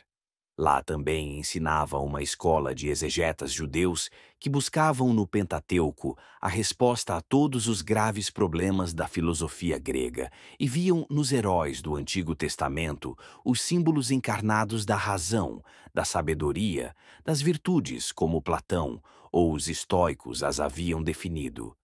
Lá, especialmente, vivia o grande rabino Filon, contemporâneo de Cristo. Ele nasceu em 20 a.C ao mesmo tempo fiel judeu e dedicado à causa de sua nação, ao ponto de arriscar sua vida por ela, e ao mesmo tempo imbuído da doutrina das ideias segundo Platão, o Santíssimo Platão, do simbolismo pitagórico dos números, da teoria estoica das causas finais, procurando conscientemente utilizar a cultura grega para colocá-la a serviço de sua fé. O corrente universalista trazia uma consequência normal, o proselitismo. Moderadamente na Palestina, mas muito ativamente na diáspora, atraía as almas ao culto do verdadeiro Deus. Se acreditarmos em Flávio Josefo, muitos praticavam zelosamente as observâncias judaicas, o repouso semanal, os rituais alimentares. Até vemos os usos proselitistas e dos que temiam a Deus nos evangelhos, por exemplo, o centurião de Cafarnaum. Mas essa expansão do judaísmo não ocorria sem dificuldades e resistências. Os espíritos rigoristas desconfiavam dos convertidos. A todos, aliás, se quisessem se tornar verdadeiramente filhos de Yahweh e membros da comunidade judaica, impunha-se o rito da circuncisão, diante do qual muitos recuavam. Dividido entre um exclusivismo que se tornaria cada vez mais violento até a catástrofe da guerra judaica e um universalismo respeitável, mas que não ousava ir até o fim de si mesmo e afirmar que não havia mais nem circuncidado nem incircuncidado, o senso judaico parecia, portanto, em equilíbrio instável, em desequilíbrio. O mesmo dilema logo se encontrou nas comunidades nascidas de Jesus, transposto para o plano cristão. No entanto, os elementos de oposição pareciam menos claros. Em todo o Evangelho, o que ouvimos é o grande grito libertador que chama os homens, sem distinção de origem, ao arrependimento e à salvação. A lição que nos parece fundamental é a do Messias aos seus apóstolos, nos dias da ressurreição. Ide, ensinai todas as nações, batizai-as em nome do Pai, do Filho e do Espírito Santo, e ensinai-lhes a guardar tudo o que vos tenho ordenado. Jesus nunca ensinou nada que encorajasse o isolamento, o particularismo, o egoísmo sagrado. Mas, passando pelo espírito judeu, impregnado do orgulho tradicional, e em certo sentido legítimo, o ensino mais generoso e amplo podia ser reduzido. A salvação vem dos judeus, havia dito Jesus à samaritana. Tais frases caíam em solo demasiadamente preparado para recebê-las. Assim, um corrente permanecia na comunidade cristã que empurrava para interpretar a Boa Nova em termos estritamente judaicos, para impor aos futuros convertidos do cristianismo os mesmos ritos que aos prosélitos das sinagogas, notadamente a circuncisão, e que, no limite, arriscava aprisionar a mensagem de Jesus no quadro de uma pequena seita judaica. Esse corrente era tão forte que o próprio São Paulo teve que manejar as susceptibilidades que semeava nos corações. Mas ele tinha contra si a verdade do ensino de Cristo e a dinâmica da história. A tendência exclusivista seria vencida. Os helenistas, ou seja, os judeus convertidos universalistas, principalmente originários da diáspora, prevaleceriam na igreja sobre os judaizantes, muito entravados pelos laços de fidelidades mal compreendidas. No entanto, não seria sem que esse conflito agitasse várias vezes os destinos da comunidade. Os sete diáconos e o martírio de Santo Estevão. Um incidente relatado no livro dos Atos claramente antecipa, apesar de uma redação cautelosa, as consequências dessa oposição. Naquele tempo, enquanto os discípulos aumentavam, houve murmurações dos helenistas contra os hebreus, porque suas viúvas eram negligenciadas na distribuição diária. Uma pequena nota, aparentemente, mas de grande peso. São detalhes como esse que medem a credibilidade deste relato, sublime por tantos aspectos, mas que o redator não quis colorir com cores idílicas. O regime comunitário apresentava problemas muito concretos de administração, de distribuição, a natureza humana, por mais santificada que fosse, deixa mostrar a ponta da orelha. Os helenistas temiam ser tratados como cristãos de segunda classe, especialmente quando se tratava de distribuir as subvenções. Esta é, na prática, a manifestação da tensão espiritual que vimos. Logo, essas queixas se tornaram tão intensas que uma solução teve que ser encontrada urgentemente. Quando em Roma, no século V, uma parte da população, a plebe, declarou-se insatisfeita com o regime e pronta para fazer secessão, magistrados especiais foram instituídos a partir de seu meio e encarregados de proteger seus interesses. Os tribunos da plebe. O mesmo raciocínio levou a comunidade cristã a dar aos helenistas as mesmas garantias designando uma espécie de funcionários escolhidos entre os extrapalestinos, que, ao mesmo tempo que liberavam os apóstolos das tarefas administrativas, garantiriam que o equilíbrio fosse mantido entre os dois grupos da Igreja. Assim foram instituídos os diáconos, sob a proposta dos doze e com o consentimento de toda a comunidade. Seu número foi de sete, talvez porque nas cidades judaicas o conselho municipal contasse com sete membros, ou ainda porque a segunda multiplicação dos pães, feita por Jesus em terra helenística, da Decápole, figura da conversão dos não-judeus, fora realizada com sete pães e deixara sete cestos de restos. Todos eram de origem helenizada. Seus nomes provam isso: Estevão, Filipe, Procoro, Nicanor, Timão, Parmenas e Nicolau. Este último era até um prosélito de Antioquia, ou seja, um grego convertido. Que papel esses novos líderes secundários da comunidade desempenhariam? Obviamente administrativo, eles foram criados para isso, mas certamente também de pregação, de propaganda. Seu caráter sagrado é indubitável, pois sua designação foi seguida por uma cerimônia em que os apóstolos impuseram as mãos sobre eles, invocando sobre eles as graças do Espírito Santo. Consagrados, eles não seriam apenas ministros de um ofício material, mas ocupariam um lugar na hierarquia, e seu título permaneceria na Igreja associado ao sacramento da ordem, do qual constitui um grau indispensável. Os helenistas, portanto, marcaram um ponto importante. E certamente tudo isso foi realizado sob a impulsão dos apóstolos, que haviam proposto essa designação, e especialmente de Pedro, que veríamos ligado em sua ação a um ou outro dos diáconos, especialmente Filipe. É um sinal cuja importância deve ser destacada enquanto a família de Jesus, legitimamente influente na primeira igreja, parece mais ou menos afastada no contexto judaico. Os doze, depositários da palavra, eles apresentam a necessidade para a fé de ir além. Além disso, como sempre acontece em empreendimentos conduzidos por um propósito muito elevado, uma decisão em si carrega novas possibilidades de desenvolvimento. Esses diáconos, aos quais a comunidade acabava de confiar um papel tão importante, eram homens mais jovens, mais abertos aos ventos do mundo, mais voltados para a propaganda externa e menos entravados pelo conformismo hebraico. À igreja nascente, eles dariam um novo e vigoroso impulso. No livro dos Atos, a narrativa de sua eleição é seguida por essa observação significativa. A palavra de Deus se espalhava cada vez mais e o número de discípulos aumentava muito em Jerusalém. A história de Estevão demonstra bem o elemento dinâmico que os diáconos trouxeram para a igreja. Ele era uma alma ardente, brilhando de audácia, o primeiro e modelo dessa imensa série de homens admiráveis que o cristianismo possuiria a serviço de sua causa e que, tendo encontrado a vida em Jesus, consideravam natural sacrificá-la por ele.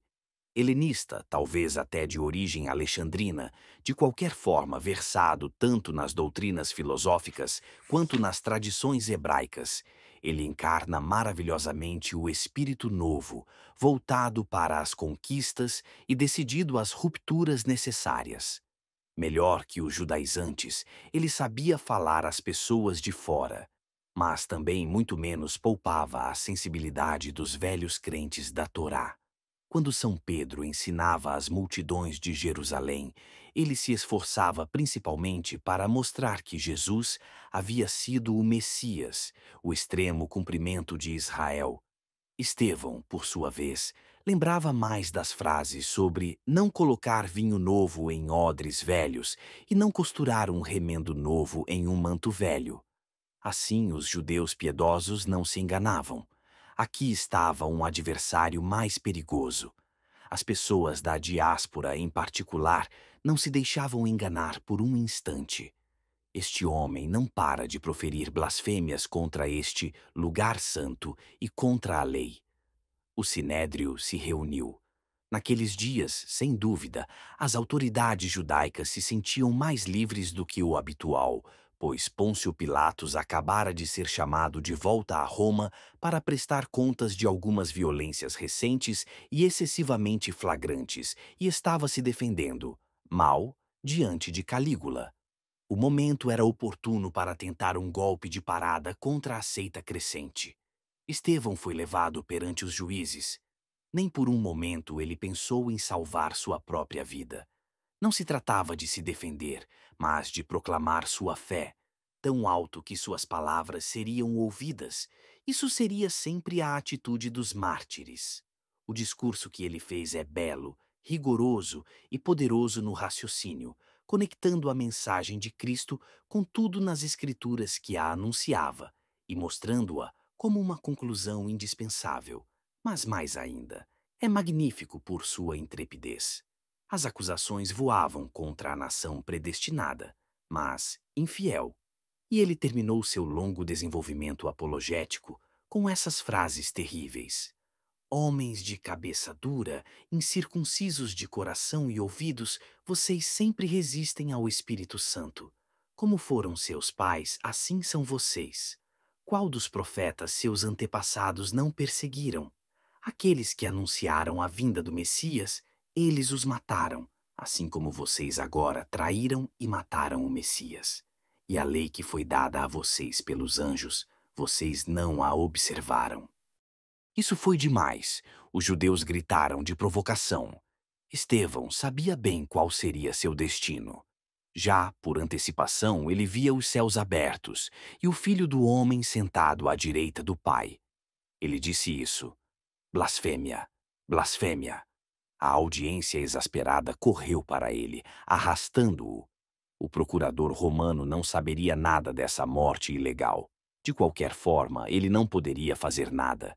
A pena para os blasfemadores, apedrejamento, era o que esse ímpio merecia. As pedras voavam, atingindo o diácono heróico, que orava ao Senhor e suplicava que perdoasse seus torturadores. Em um canto, um jovem estudante fariseu observava a cena, um rictus no rosto. Ele se chamava Saulo e se propôs a guardar as roupas dos carrascos. Veja, eu enviarei a vocês profetas, sábios e eruditos. Alguns de vocês matarão e crucificarão, e outros vocês açoitarão em suas sinagogas e perseguirão de cidade em cidade. E assim Sobre vocês virá todo o sangue justo que foi derramado na terra, desde o sangue de Abel, o justo, até o sangue de Zacarias, filho de Baraquias, a quem vocês mataram entre o santuário e o altar. Verdadeiramente eu digo a vocês, tudo isso virá sobre esta geração. Quando, trinta anos depois, Jerusalém se tornou a casa deserta prevista pelo Messias, a morte do primeiro mártir foi paga por uma imensidão de dor, mas contribuiu poderosamente para espalhar a boa nova, dando ao cristianismo o primeiro dos testemunhos assinados com sangue. O trabalho de São Pedro e do diácono Filipe a perseguição que se seguiu à execução de Estevão não paralisou a propagação cristã. Homens piedosos o enterraram e choraram amargamente por ele, prova de que não tinham tanto medo dos judeus. Os helenistas, especialmente visados, se afastaram da Cidade Santa, buscando refúgio temporário em suas terras natais, e assim o que deveria ter quebrado a expansão cristã, na verdade a serviu grandemente. Vocês serão minhas testemunhas em Jerusalém, em toda a Judéia e Samaria e até os confins da terra, disse Jesus aos seus fiéis. A profecia do ressuscitado estava se cumprindo. Inicialmente, a propagação cristã foi direcionada apenas para os ambientes judeus, sejam eles palestinos ou helenistas. Uma etapa necessária, para consolidar solidamente as bases do movimento. O próprio Jesus não havia claramente indicado que uma graduação era indispensável quando, no início da missão dos doze, proibiu-os de ir aos gentios e samaritanos e ordenou que cuidassem apenas das ovelhas perdidas de Israel? Agora mais consolidada após alguns anos de esforço, a comunidade cristã poderia ousar mais ultrapassar os limites do povo eleito, obedecer às instruções finais do Mestre, dirigindo-se a todas as nações. E então se viu partir pelas estradas, provavelmente dois a dois, conforme o costume estabelecido pelo Senhor, missionários da nova fé, cheios de zelo e audácia incansável. Eles não deveriam ter dinheiro, provisões, nada além de uma túnica, sandálias e um cajado. Se alguém recusasse recebê-los, eles sacudiriam a poeira de seus pés e partiriam para levar a boa nova mais adiante. Uma grande esperança era sua força. O filho do homem não prometeu que voltaria antes mesmo de terem percorrido todos os lugares? Eles levavam este texto ao pé da letra e de imediato os diáconos parecem ter desempenhado um papel importante nesta expansão do Evangelho fora do estreito quadro de Jerusalém. De um em particular, Filipe, os atos mostram claramente a ação e os métodos. Sempre em movimento, receptivo ao espírito e pronto para aproveitar as circunstâncias, ele era um propagandista admirável, como qualquer empreendimento humano gostaria de ter um desses pioneiros que desbravam o terreno plantam as primeiras tendas, até que outros, mais maduros, venham explorar suas conquistas e construir de forma definitiva. Vemo-lo primeiro indo para a terra dos samaritanos para levar-lhes a palavra de Deus. Este gesto, que pode não parecer tão surpreendente para nós, deveria ser para os judeus mais que uma surpresa, uma espécie de escândalo em Jerusalém e em todos os ambientes piedosos, odiava-se os samaritanos, esses descendentes de um amálgama pagão, hereges, impuros, cuja própria água era, segundo os rabinos, mais impura que o sangue de porco. Não perdoavam por terem erguido um templo concorrente ao de Sião e regozijaram-se grandemente quando, em 128 a.C., João Írcano arrasou sua capital, os discípulos já haviam demonstrado seu descontentamento quando Jesus falou casualmente com uma mulher samaritana. O que os fiéis da Cidade Santa deveriam pensar do diácono que pretendia converter esses malditos? A Samaria estava então em todo o seu esplendor. Pompeu a havia reconstruído e elevado a cidade livre. Gabínios a fortificara. Herodes, o Grande. Claro, pensavam os judeus, havia-lhe dado um toque pagão com colunatas, templos e teatros, e, para lisonjear Augusto, rebatizou-a com o nome grego do imperador, Sebaste. O povo, no entanto, mantinha uma fé viva, Embora um pouco especial, eles ainda esperavam pelo Messias, como a mulher no poço havia declarado a Jesus, mas também se entusiasmavam por um taumaturgo ou um charlatão da magia. Não era um ambiente fácil. Filipe teve sucesso lá. A multidão prestava atenção às suas palavras. Milagres marcaram sua ação.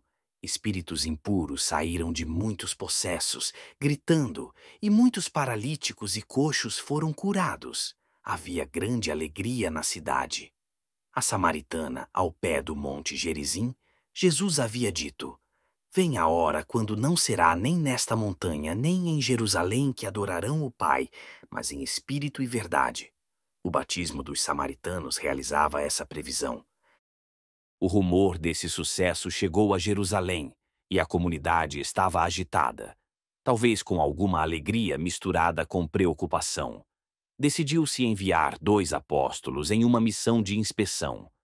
Pedro e João foram escolhidos, o que mostra a importância que se atribuía ao fato.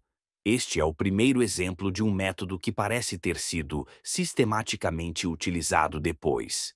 Enviar missionários, deixá-los iniciar o trabalho e então fazê-los controlar por personalidades mais importantes que verificam as condições sob as quais executam sua tarefa e mantêm os laços com a comunidade capital. Além disso, a visita dos apóstolos era, por outra razão, indispensável, pois somente eles tinham o poder, impondo as mãos, de invocar sobre os novos cristãos as graças do Espírito Santo. Pedro e João chegaram então a Samaria, aprovaram o trabalho de Filipe, confirmaram os batizados e retornaram, muito satisfeitos, ensinando pelas vilas em seu caminho encontramos Filipe novamente na estrada para Gaza, em direção a Saron e a terra dos filisteus, onde um anjo do Senhor lhe ordenou que fosse. Mesmo em trânsito, ele não perdeu de vista sua missão, que era levar a palavra e semeá-la a todos os ventos. Montando no carro de um passageiro complacente, ele percebeu que seu amável guia, um eunuco etíope, oficial da Candace, rainha do país de Meroé, no Sudão, lia com paixão os textos sagrados de Israel.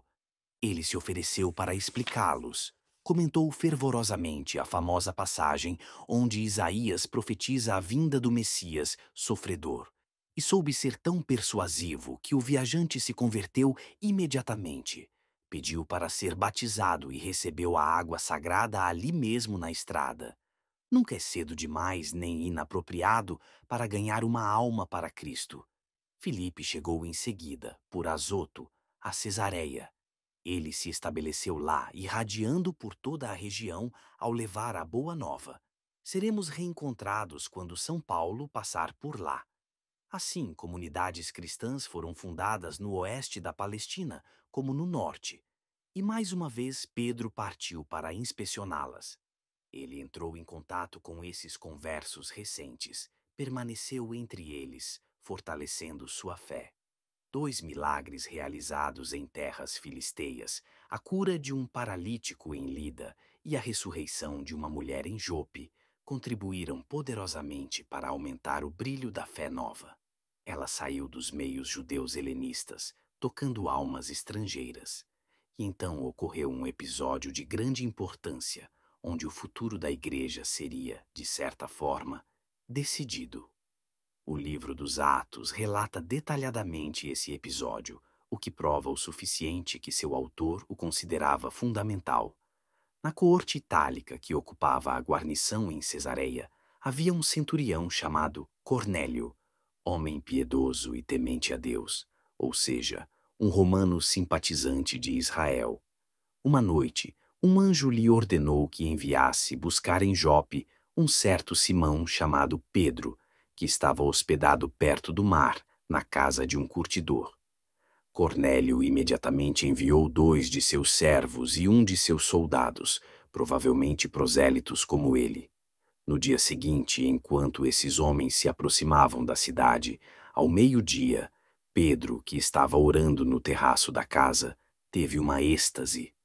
No céu aberto, em uma grande toalha, todo tipo de comida, pura e impura, foi apresentada a ele, e ele foi misteriosamente convidado a prová-las sem que fosse de alguma forma possível purificá-las.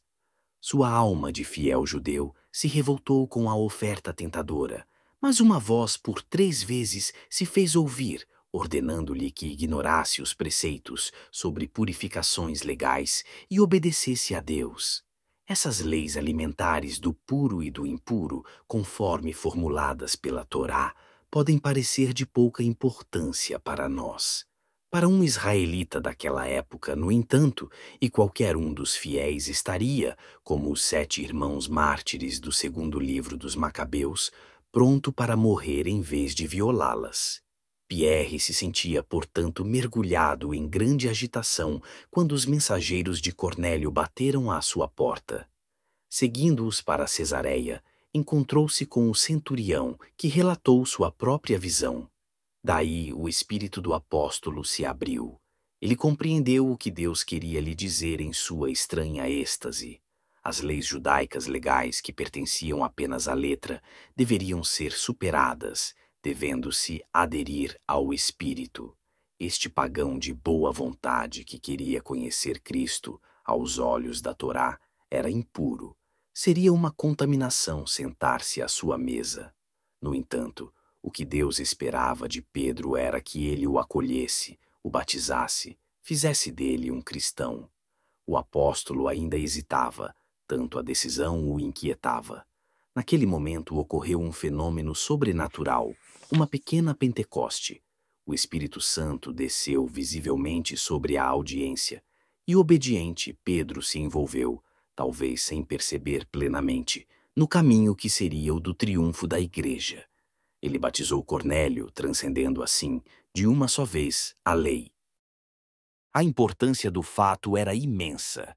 Em Jerusalém, os elementos judaico-cristãos quase se assustaram com isso eles atacaram Pedro, após seu retorno, com perguntas e severas repreensões.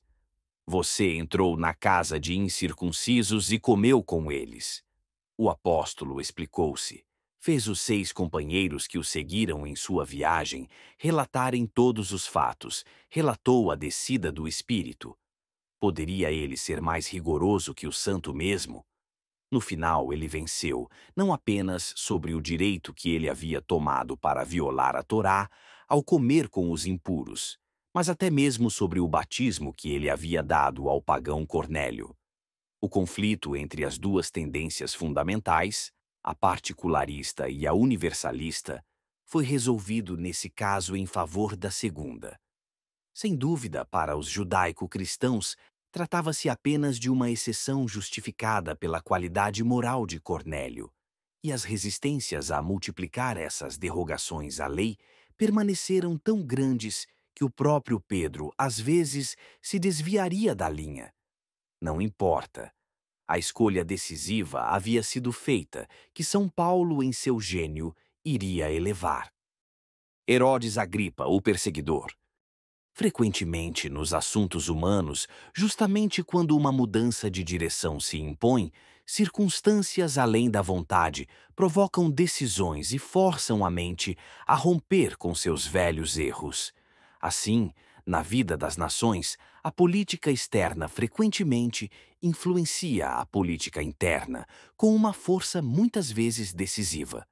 Para a comunidade cristã primitiva, o difícil problema de escolher entre duas tendências estava prestes a avançar significativamente em direção à sua resolução, porque eventos externos a forçaram a preparar o futuro, justamente quando as fundações do passado estavam desmoronando. A perseguição desencadeada pelo incidente com Santo Estevão nunca havia cessado completamente.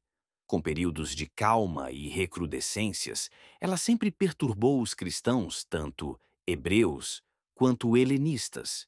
No ano 41, ela explodiu com mais força e de maneira mais sistemática, por vontade de Herodes Agripa I, que havia retornado ao trono de Israel. Este personagem duvidoso era filho de Aristóbulo e Berenice, netos do grande Herodes e dessa Mariamne, que o sangrento Idumeu havia amado, assassinado e tanto lamentado. Seu pai havia sido uma das últimas vítimas do tirano. Criado na corte de Tibério, onde sua vida de devassidão, dívidas e sandálias havia surpreendido um ambiente que, no entanto, não se escandalizava facilmente, ele havia sido preso por ordem do velho imperador misantropo em 37 e passado alguns meses na prisão. Mas seu companheiro de orgias, Calígula, tendo ascendido ao trono pouco depois, concedeu-lhe o título de rei e as duas tetrarquias da Palestina do Norte, e depois, após a deposição de Antipas, a Galiléia e a Pérea. Em 41, Cláudio acrescentou a Judéia e a Samaria, reconstituindo para ele o reino herodiano. Desde sua chegada a Jerusalém, esse devasso, que não era tolo, tinha, para ganhar o favor do povo, exibido um grande zelo religioso. Flávio Joséfo conta que, em sua entrada na cidade, ele havia sacrificado vítimas em ações de graças, sem esquecer nenhuma das prescrições da lei, e que uma corrente de ouro, oferecida a ele por Calígula, e que pesava tanto quanto aquela de ferro com que Tibério havia carregado suas mãos reais, foi depositada no recinto sagrado. Talvez não fosse apenas astúcia política, pois a psicologia dos herodianos sempre parece complexa. O Talmud relata que, celebrando um dia a festa dos tabernáculos, conforme o costume, e 41 era um desses anos, ao chegar ao texto completo do Deuteronômio, e ao chegar naquela frase, não colocarás sobre ti um estrangeiro que não seja teu irmão. Ele, o semi-beduíno, o mestiço, sentiu-se de repente indigno de reinar sobre a nação santa e ficou tão comovido que o povo, emocionado, protestou aclamando-o. Esse zelo explica sua atitude em relação aos cristãos. Pela primeira vez, a perseguição assumiu um caráter sistemático, o que não havia ocorrido anteriormente, pois as reações violentas à propaganda evangélica haviam sido ocasionais. Herodes Agripa começou a maltratar alguns membros da igreja. Ele matou Tiago, irmão de João, à espada. Trata-se de um dos filhos de Zebedeu, frequentemente mencionado nos evangelhos. Pela primeira vez, um apóstolo, um dos doze, derramava seu sangue como testemunho. Eusébio, baseado em Clemente de Alexandria, conta que esse martírio foi a ocasião de um episódio muito belo que muitas vezes se repetiria nos tempos heróicos das grandes perseguições. O acusador de Tiago, que havia apoiado a acusação diante do tribunal, abalado pela coragem do apóstolo, converteu-se na hora e se declarou cristão. Levado ao suplício com sua vítima, pediu-lhe perdão. Tiago pensou por um momento. A paz esteja contigo, disse ele, e o abraçou. Ao mesmo tempo, Pedro também foi preso. Sua importância na comunidade deve ter sido notória, pois ele foi cercado de cuidados muito diligentes. Na prisão, quatro esquadras de quatro soldados, cada se revezavam para vigiá-lo, esperando que, terminadas as festas da Páscoa, ele pudesse ser julgado. Mas Deus tinha outras tarefas reservadas para o príncipe dos apóstolos. Na noite anterior ao dia marcado por Herodes para sua audiência, Pedro, acorrentado por duas correntes, dormia entre dois soldados, enquanto, além disso, duas sentinelas, diante da porta, guardavam a prisão. De repente, um anjo do Senhor apareceu e a cela foi inundada de luz. O anjo acordou Pedro. Levante-se depressa. E as correntes caíram de suas mãos. Atônito, pensando que estava sonhando, Pedro se viu imediatamente fora, tendo passado pela pesada porta de ferro que se abrira por si mesma.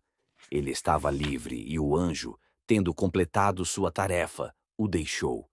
Após um momento de reflexão e ação de graças, o apóstolo correu pelas ruas noturnas, chegou à casa de Maria, mãe de Marcos, talvez, se lembrarmos dos incidentes da prisão de Cristo, na periferia muito baixa da cidade, do lado de Getsemane. Ele bateu à porta. Uma serva, chamada Rodé, veio ouvir e, em sua alegria, reconhecendo a voz do apóstolo, esqueceu de abrir a porta, correu para anunciar a notícia de que Pedro estava lá. Na casa havia um grupo de fiéis que oravam. O grito foi unânime. Você está louca! A pequena serva insistiu. Não pode ser ele, é o anjo dele. Eles repetiam. No entanto, Pedro continuava batendo. Finalmente abriram a porta, reconheceram-no e o aclamaram. Com um gesto, ele impôs silêncio. O Senhor o havia libertado milagrosamente. Não se deveria comprometer as chances que lhe haviam sido dadas. Este capítulo dos Atos, tão vívido e animado, deixa, ao longo da narrativa, captar muitos detalhes interessantes sobre a comunidade primitiva. Vemos claramente a pequena assembleia de fiéis, agrupados à noite para escapar da polícia e que só colocam esperança em Deus. Observamos a aparição desse jovem Marcos, que será companheiro de São Paulo, o futuro evangelista. Notamos que Pedro, libertado, ordena informar imediatamente Tiago e os irmãos ou seja, significativamente, o grupo dos anciãos reunidos em torno do irmão do Senhor, como se fosse uma autoridade regular da comunidade. Ele termina com o relato, irônico, da execução de Herodes ao constatar que seu prisioneiro havia desaparecido e pela morte do pequeno tirano, atingido por um anjo de Deus, torturado, segundo Joséfo, por terríveis dores intestinais e morrendo o corpo corroído por vermes. Porque para que usos Deus havia milagrosamente salvado seu servo? Os atos dizem apenas que Pedro foi para outro lugar. Mas o resto da história cristã ajuda a entender melhor o significado do episódio. A palavra de Deus fazia grandes progressos. Longe de retardar a expansão da igreja, a perseguição de Herodes a ajudou. Mais séria do que as anteriores, ela impeliu mais cristãos a deixar a Cidade Santa, a buscar refúgio em outros lugares. Assim, a semeadura tornou-se mais ampla. Uma dessas comunidades cristãs externas iria acolher muitos dos fugitivos e assumir uma posição primordial.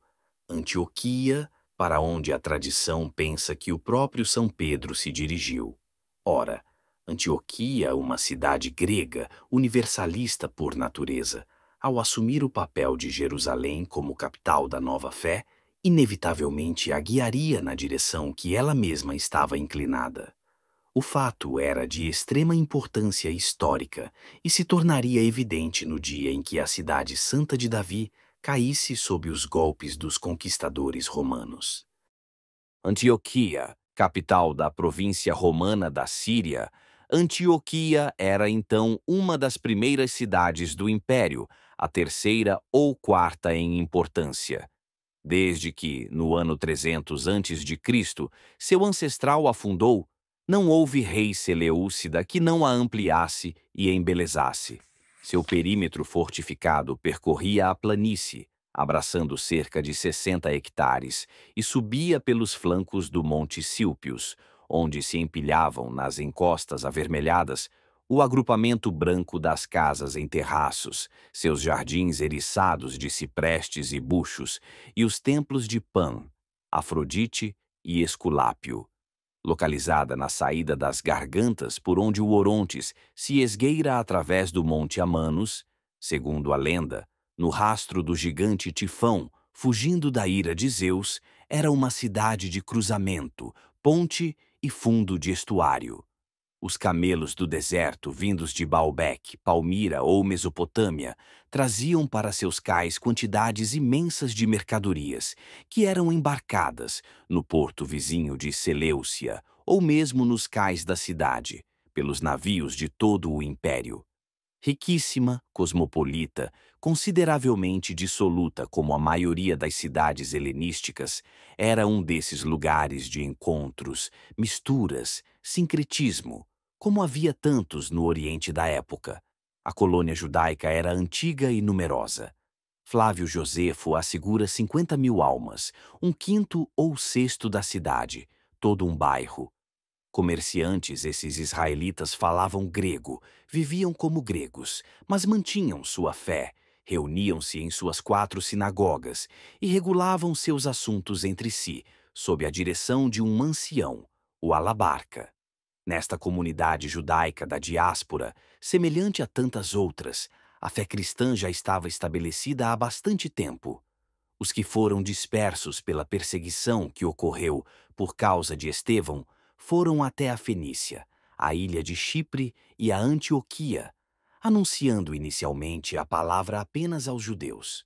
Mas, mais tarde, alguns cipriotas e sireneus, que chegaram a Antioquia, dirigiram-se também aos gregos, anunciando a boa nova de Jesus.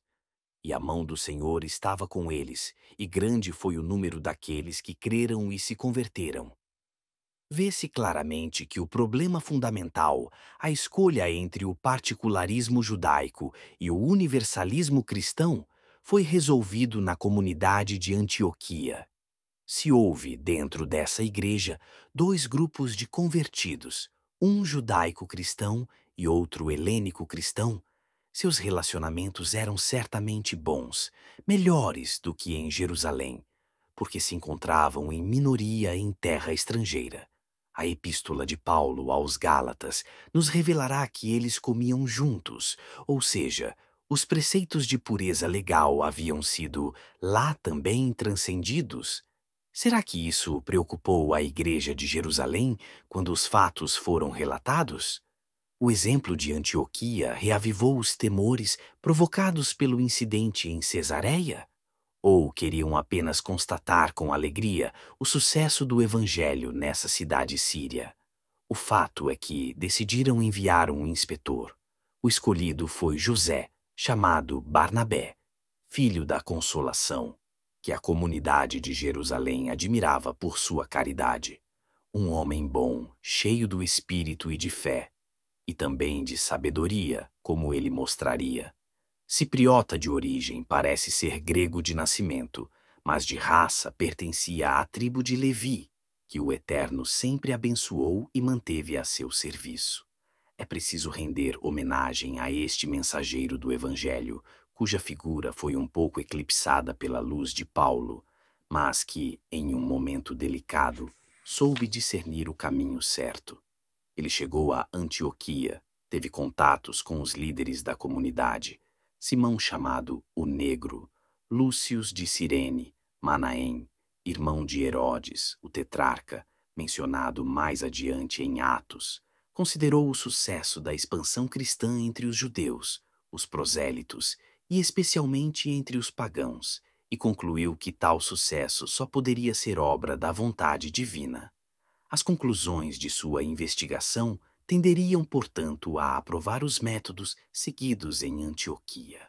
Assim, a impressão que essa comunidade cristã síria dá é de estar, cerca de 12 ou 15 anos após a morte de Cristo, em plena prosperidade. Um sinal mencionado por São Lucas destaca a importância desse grupo. Foi lá, pela primeira vez, que o nome de cristãos entrou em uso provavelmente por razões administrativas, a menos que fosse inicialmente um apelido. Os atos mesmos, fora da frase onde mencionam seu nascimento, usam-no apenas mais uma vez e só é encontrado nos textos primitivos em uma epístola de São Pedro. Seu significado, em todo caso, é claro. Essas pessoas cujo número aumenta, que fazem falar de si, como designá-las? Judeus? Eles não são todos e de uma espécie que parece particular. Eles se reivindicam de Cristos? Que sejam então cristãos. A tradição muito antiga da Igreja Católica, destacada pela celebração, em 22 de fevereiro, da festa da Cadeira de São Pedro em Antioquia, associa ao desenvolvimento dessa comunidade a lembrança precisa do príncipe dos apóstolos, as estadias de Pedro em Antioquia são certas. Veja, por exemplo, Gálatas 2, 11. Deve-se admitir que, logo após a perseguição de Herodes Agripa, ele foi se instalar nas margens do Oronte e que realmente houve transferência de sua cátedra de uma cidade para outra? Jerusalém, Antioquia, Roma teriam sido as três etapas pelas quais o cristianismo passou da pequena comunidade fechada da Cidade Santa para o universalismo da Catedra Petri. De qualquer forma, maravilhosamente localizada para que a palavra irradiasse em todas as direções, Antioquia desempenhará um papel fundamental no momento em que a propaganda cristã precisa se expandir. O brilho de Jerusalém era suficiente para que o evangelho tocasse a Samaria e o Saron. Agora era hora de atacar o mundo helenístico e, por meio dele, alcançar Roma. Antioquia, novo centro da Igreja Universal, manterá por muito tempo numerosas relações com Jerusalém. Quando a fome assolar a Palestina, serão os cristãos da Síria que organizarão a ajuda para seus irmãos. Mas estas são apenas relações de amizade e respeito mútuo. Agora o cristianismo está voltado para horizontes mais amplos que os da Terra Prometida. Jerusalém pode desaparecer. Os caminhos de Deus estão agora preparados. O fim de Jerusalém Enquanto a nova fé se preparava para brilhar no mundo com uma luz incomparável, na Palestina parecia que seu desenvolvimento estava paralisado. A partir dos anos 50, já não se via na Terra Santa o entusiasmo vibrante dos primeiros tempos. As comunidades primitivas pareciam agora vegetar na sombra, e mesmo a de Jerusalém não brilhava com grande intensidade. O orgulho judeu foi o obstáculo intransponível. Naqueles tempos viu-se endurecer ainda mais e exaltar-se até a paixão.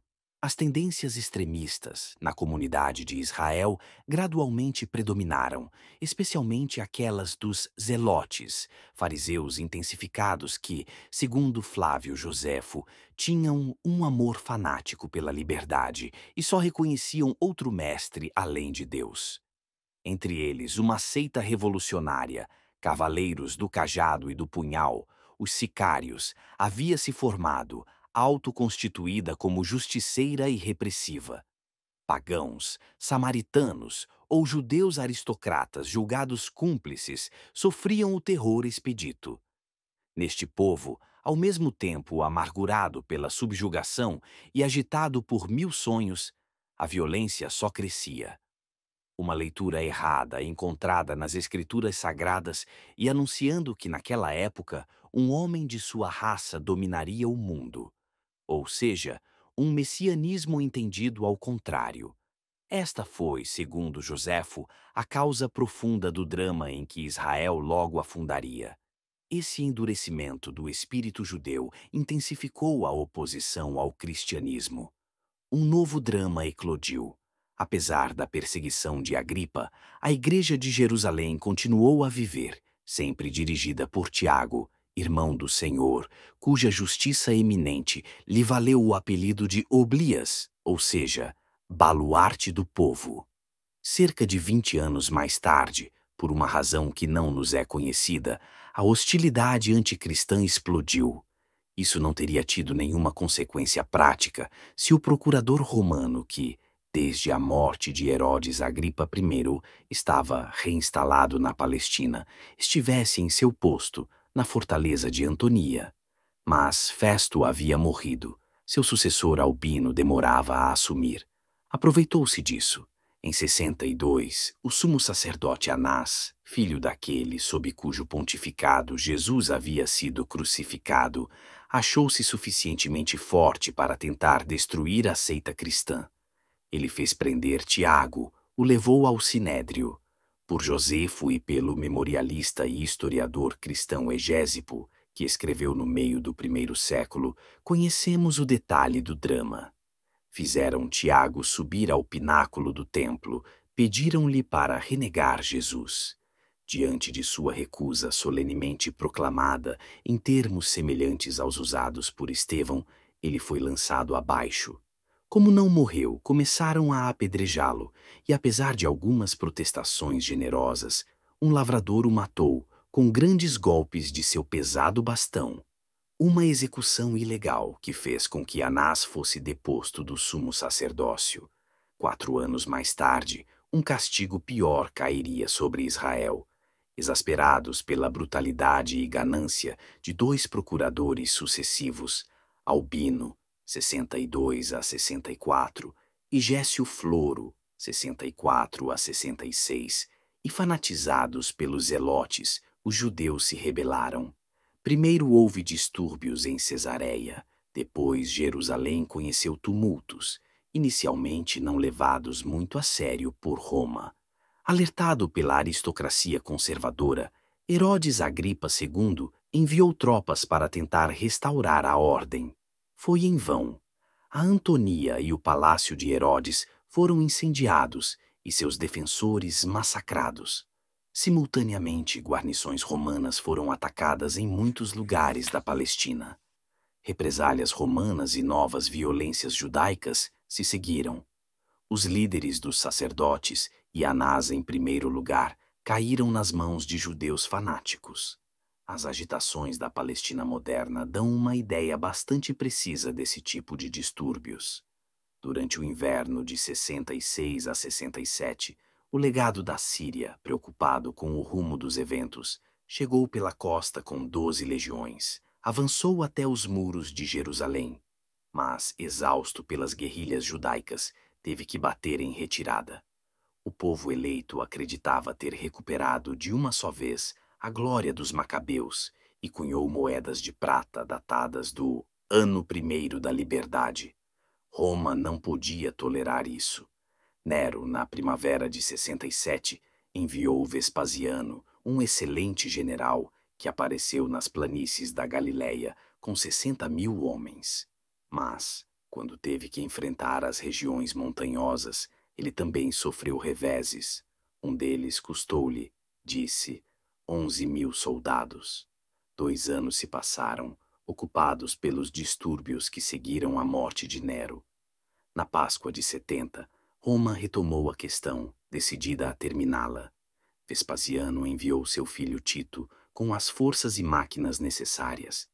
Em Jerusalém, os fanáticos pela luta até o fim, sob a liderança de João de Giscala, ocupavam o templo. Mas na Cidade Alta, os partidários de uma política menos terrível, liderados por Simão Bar de Ora, enfrentavam-nos. Os dois clãs se uniram contra as legiões e começou o cerco. Quando, cinco meses mais tarde, após cenas de horror inimagináveis, ele terminou, Jerusalém estava em ruínas. O templo tinha sido incendiado, milhares de cadáveres rolavam sob os cascos dos cavalos núbios a serviço de Roma.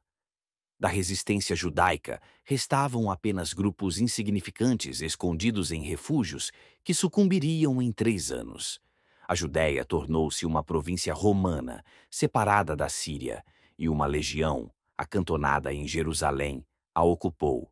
O sinédrio e o sumo sacerdócio desapareceram. Ironia cruel. Roma exigiu o imposto ritual que todos os judeus do mundo deviam pagar ao templo, mas o recolheu para o tesouro de Júpiter. Esses terríveis eventos perturbaram muito os cristãos espalhados pelo império?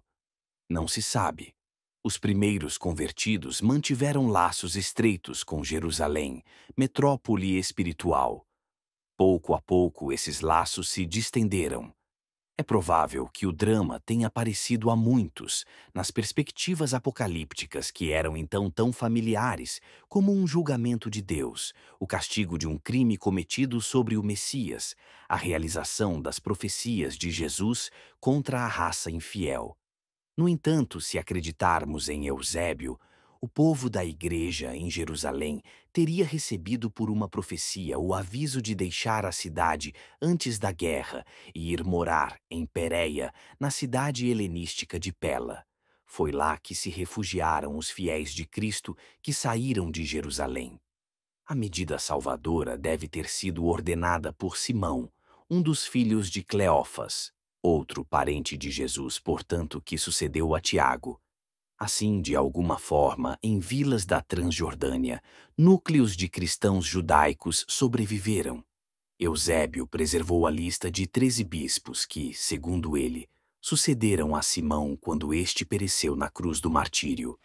Todos têm nomes judeus, mas essas comunidades realmente não tinham mais muito brilho. A tomada de Jerusalém ainda exacerbou as relações entre cristãos e judeus. Desde então, o antagonismo foi manifesto. Tácito talvez o mencione em suas histórias, relatando que durante um conselho de guerra realizado em 9 de agosto de 70, onde foi discutida a oportunidade de destruir o templo, Tito evocou a luta entre essas duas seitas, apesar de sua origem comum. Foi então que, começando a elaborar as tradições, das quais o Talmud seria a redação bem posterior, os judeus marcariam seu ódio pelos novos fiéis, apóstatas e traidores que, não só não deveriam ser tirados do poço se caíssem, mas que deveriam ser jogados nele. E que, na famosa oração do Shemoné Esré, o rabino Gamaliel, o segundo do nome, e Samuel, o pequeno, introduziram por volta de 80 o verso que ainda se lê: Pereçam instantaneamente o Nazareno e os Minim, isto é, os cristãos. O último ato do drama de Israel colocará o ápice a esse ódio, do qual muitos cristãos, esquecendo a lição de Cristo, tirarão argumento para devolvê-lo abundantemente aos judeus. Quando, no início do século II, Adriano, 117 a 138, imperador artista e grande construtor, decidir reconstruir Jerusalém, até então simples guarnição, sob o nome de Aélia Capitolina, ele erguerá uma cidade pagã. Os lugares santificados por Yahweh serão desonrados pela estátua de Júpiter e, segundo a tradição, Vênus reinará no Gólgota o resíduo da nação judaica não poderá suportar tais ultrajes. Ao chamado de um pseudo-messias, chamado Bar Kosheba, apoiado pelo rabino Akiba, a revolução explodirá, revolução do desespero e do absurdo. Durante três anos, o terror reinará, não apenas contra Roma, mas também, segundo relata Justin, contra os cristãos que sofrerão o último suplício se recusarem a renegar e insultar Jesus Cristo.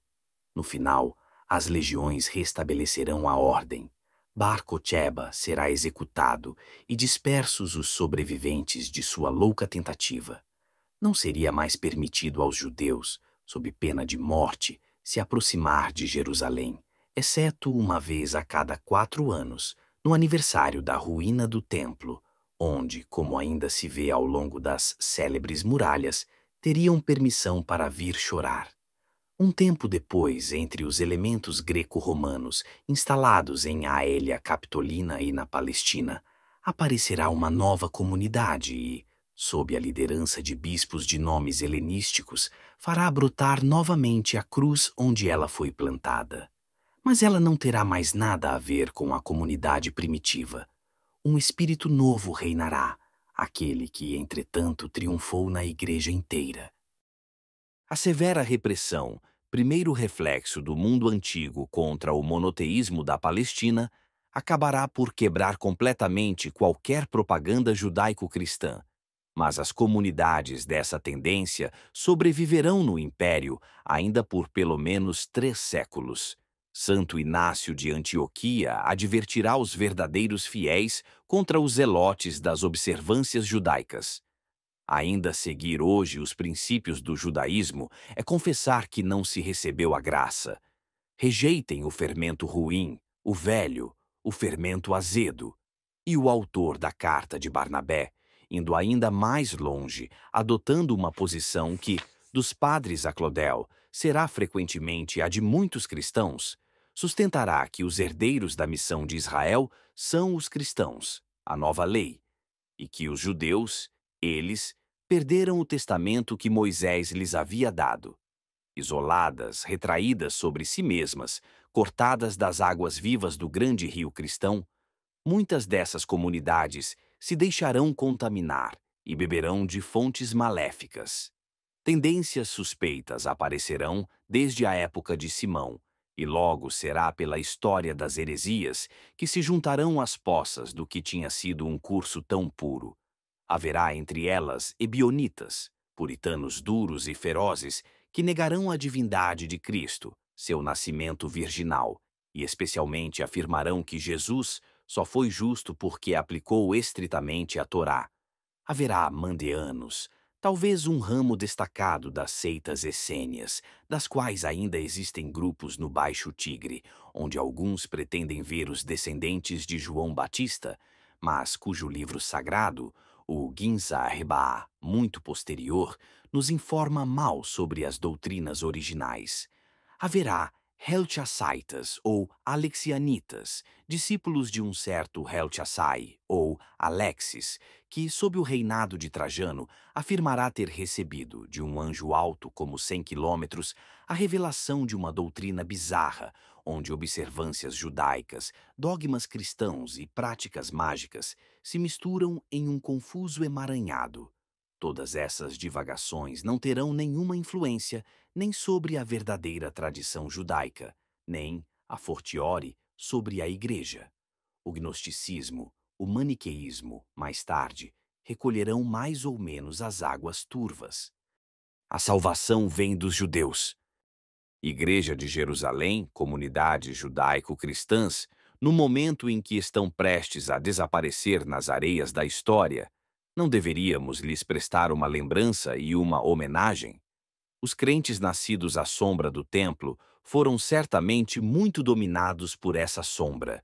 Eles não souberam discernir onde estava a luz, e seu destino doloroso faz parte de uma lógica providencial que tornava necessário seu fracasso.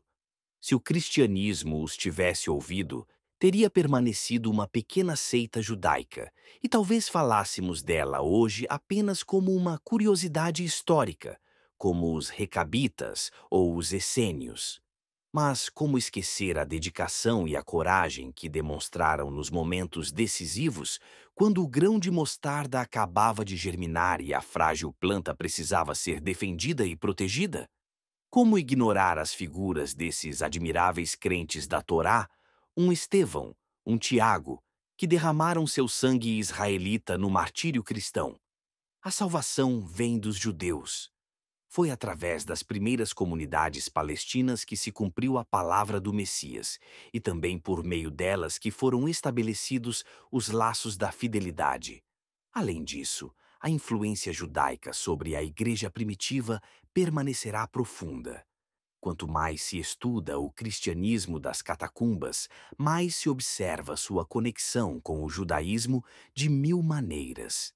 Cada um dos quatro evangelhos contém inúmeras citações dos antigos. A liturgia e a oração cristãs, teremos a oportunidade de ver, estarão diretamente ligadas aos usos religiosos da raça eleita. E essas comunidades cristãs, onde os antigos pagãos serão muito mais numerosos do que os judeus de origem, quais serão os símbolos que elas usarão? Nas paredes das catacumbas é o Antigo Testamento, o livro hebraico, que multiplicará suas imagens. Adão e Eva, Noé na arca, o sacrifício de Abraão, Jonas atirado à praia ou Daniel na cova dos leões um vínculo que a Igreja Católica e Romana ainda proclama, quando no dia do Sábado Santo, após a quarta profecia, ela pede ao Todo-Poderoso que os povos da terra, em toda a sua plenitude, tornem-se filhos de Abraão, constituídos na dignidade de Israel. Mas o que hoje nos parece uma fidelidade legítima e justa, homenagem poderia ter se tornado um desvio perigoso e uma limitação para obedecer à ordem de Cristo e lançar-se na grande aventura universalista, era necessário que o cristianismo compreendesse que, para cumprir totalmente a lei, era essencial superar seus limites. Na época em que Jerusalém caía sob os golpes de Tito e os judaico-cristãos viam seu destino se fechar, já havia muito tempo que a síntese criativa do passado e do futuro havia sido realizada e que a Igreja havia definitivamente encontrado seu caminho. Mais do que qualquer outro, essa obra foi de São Paulo.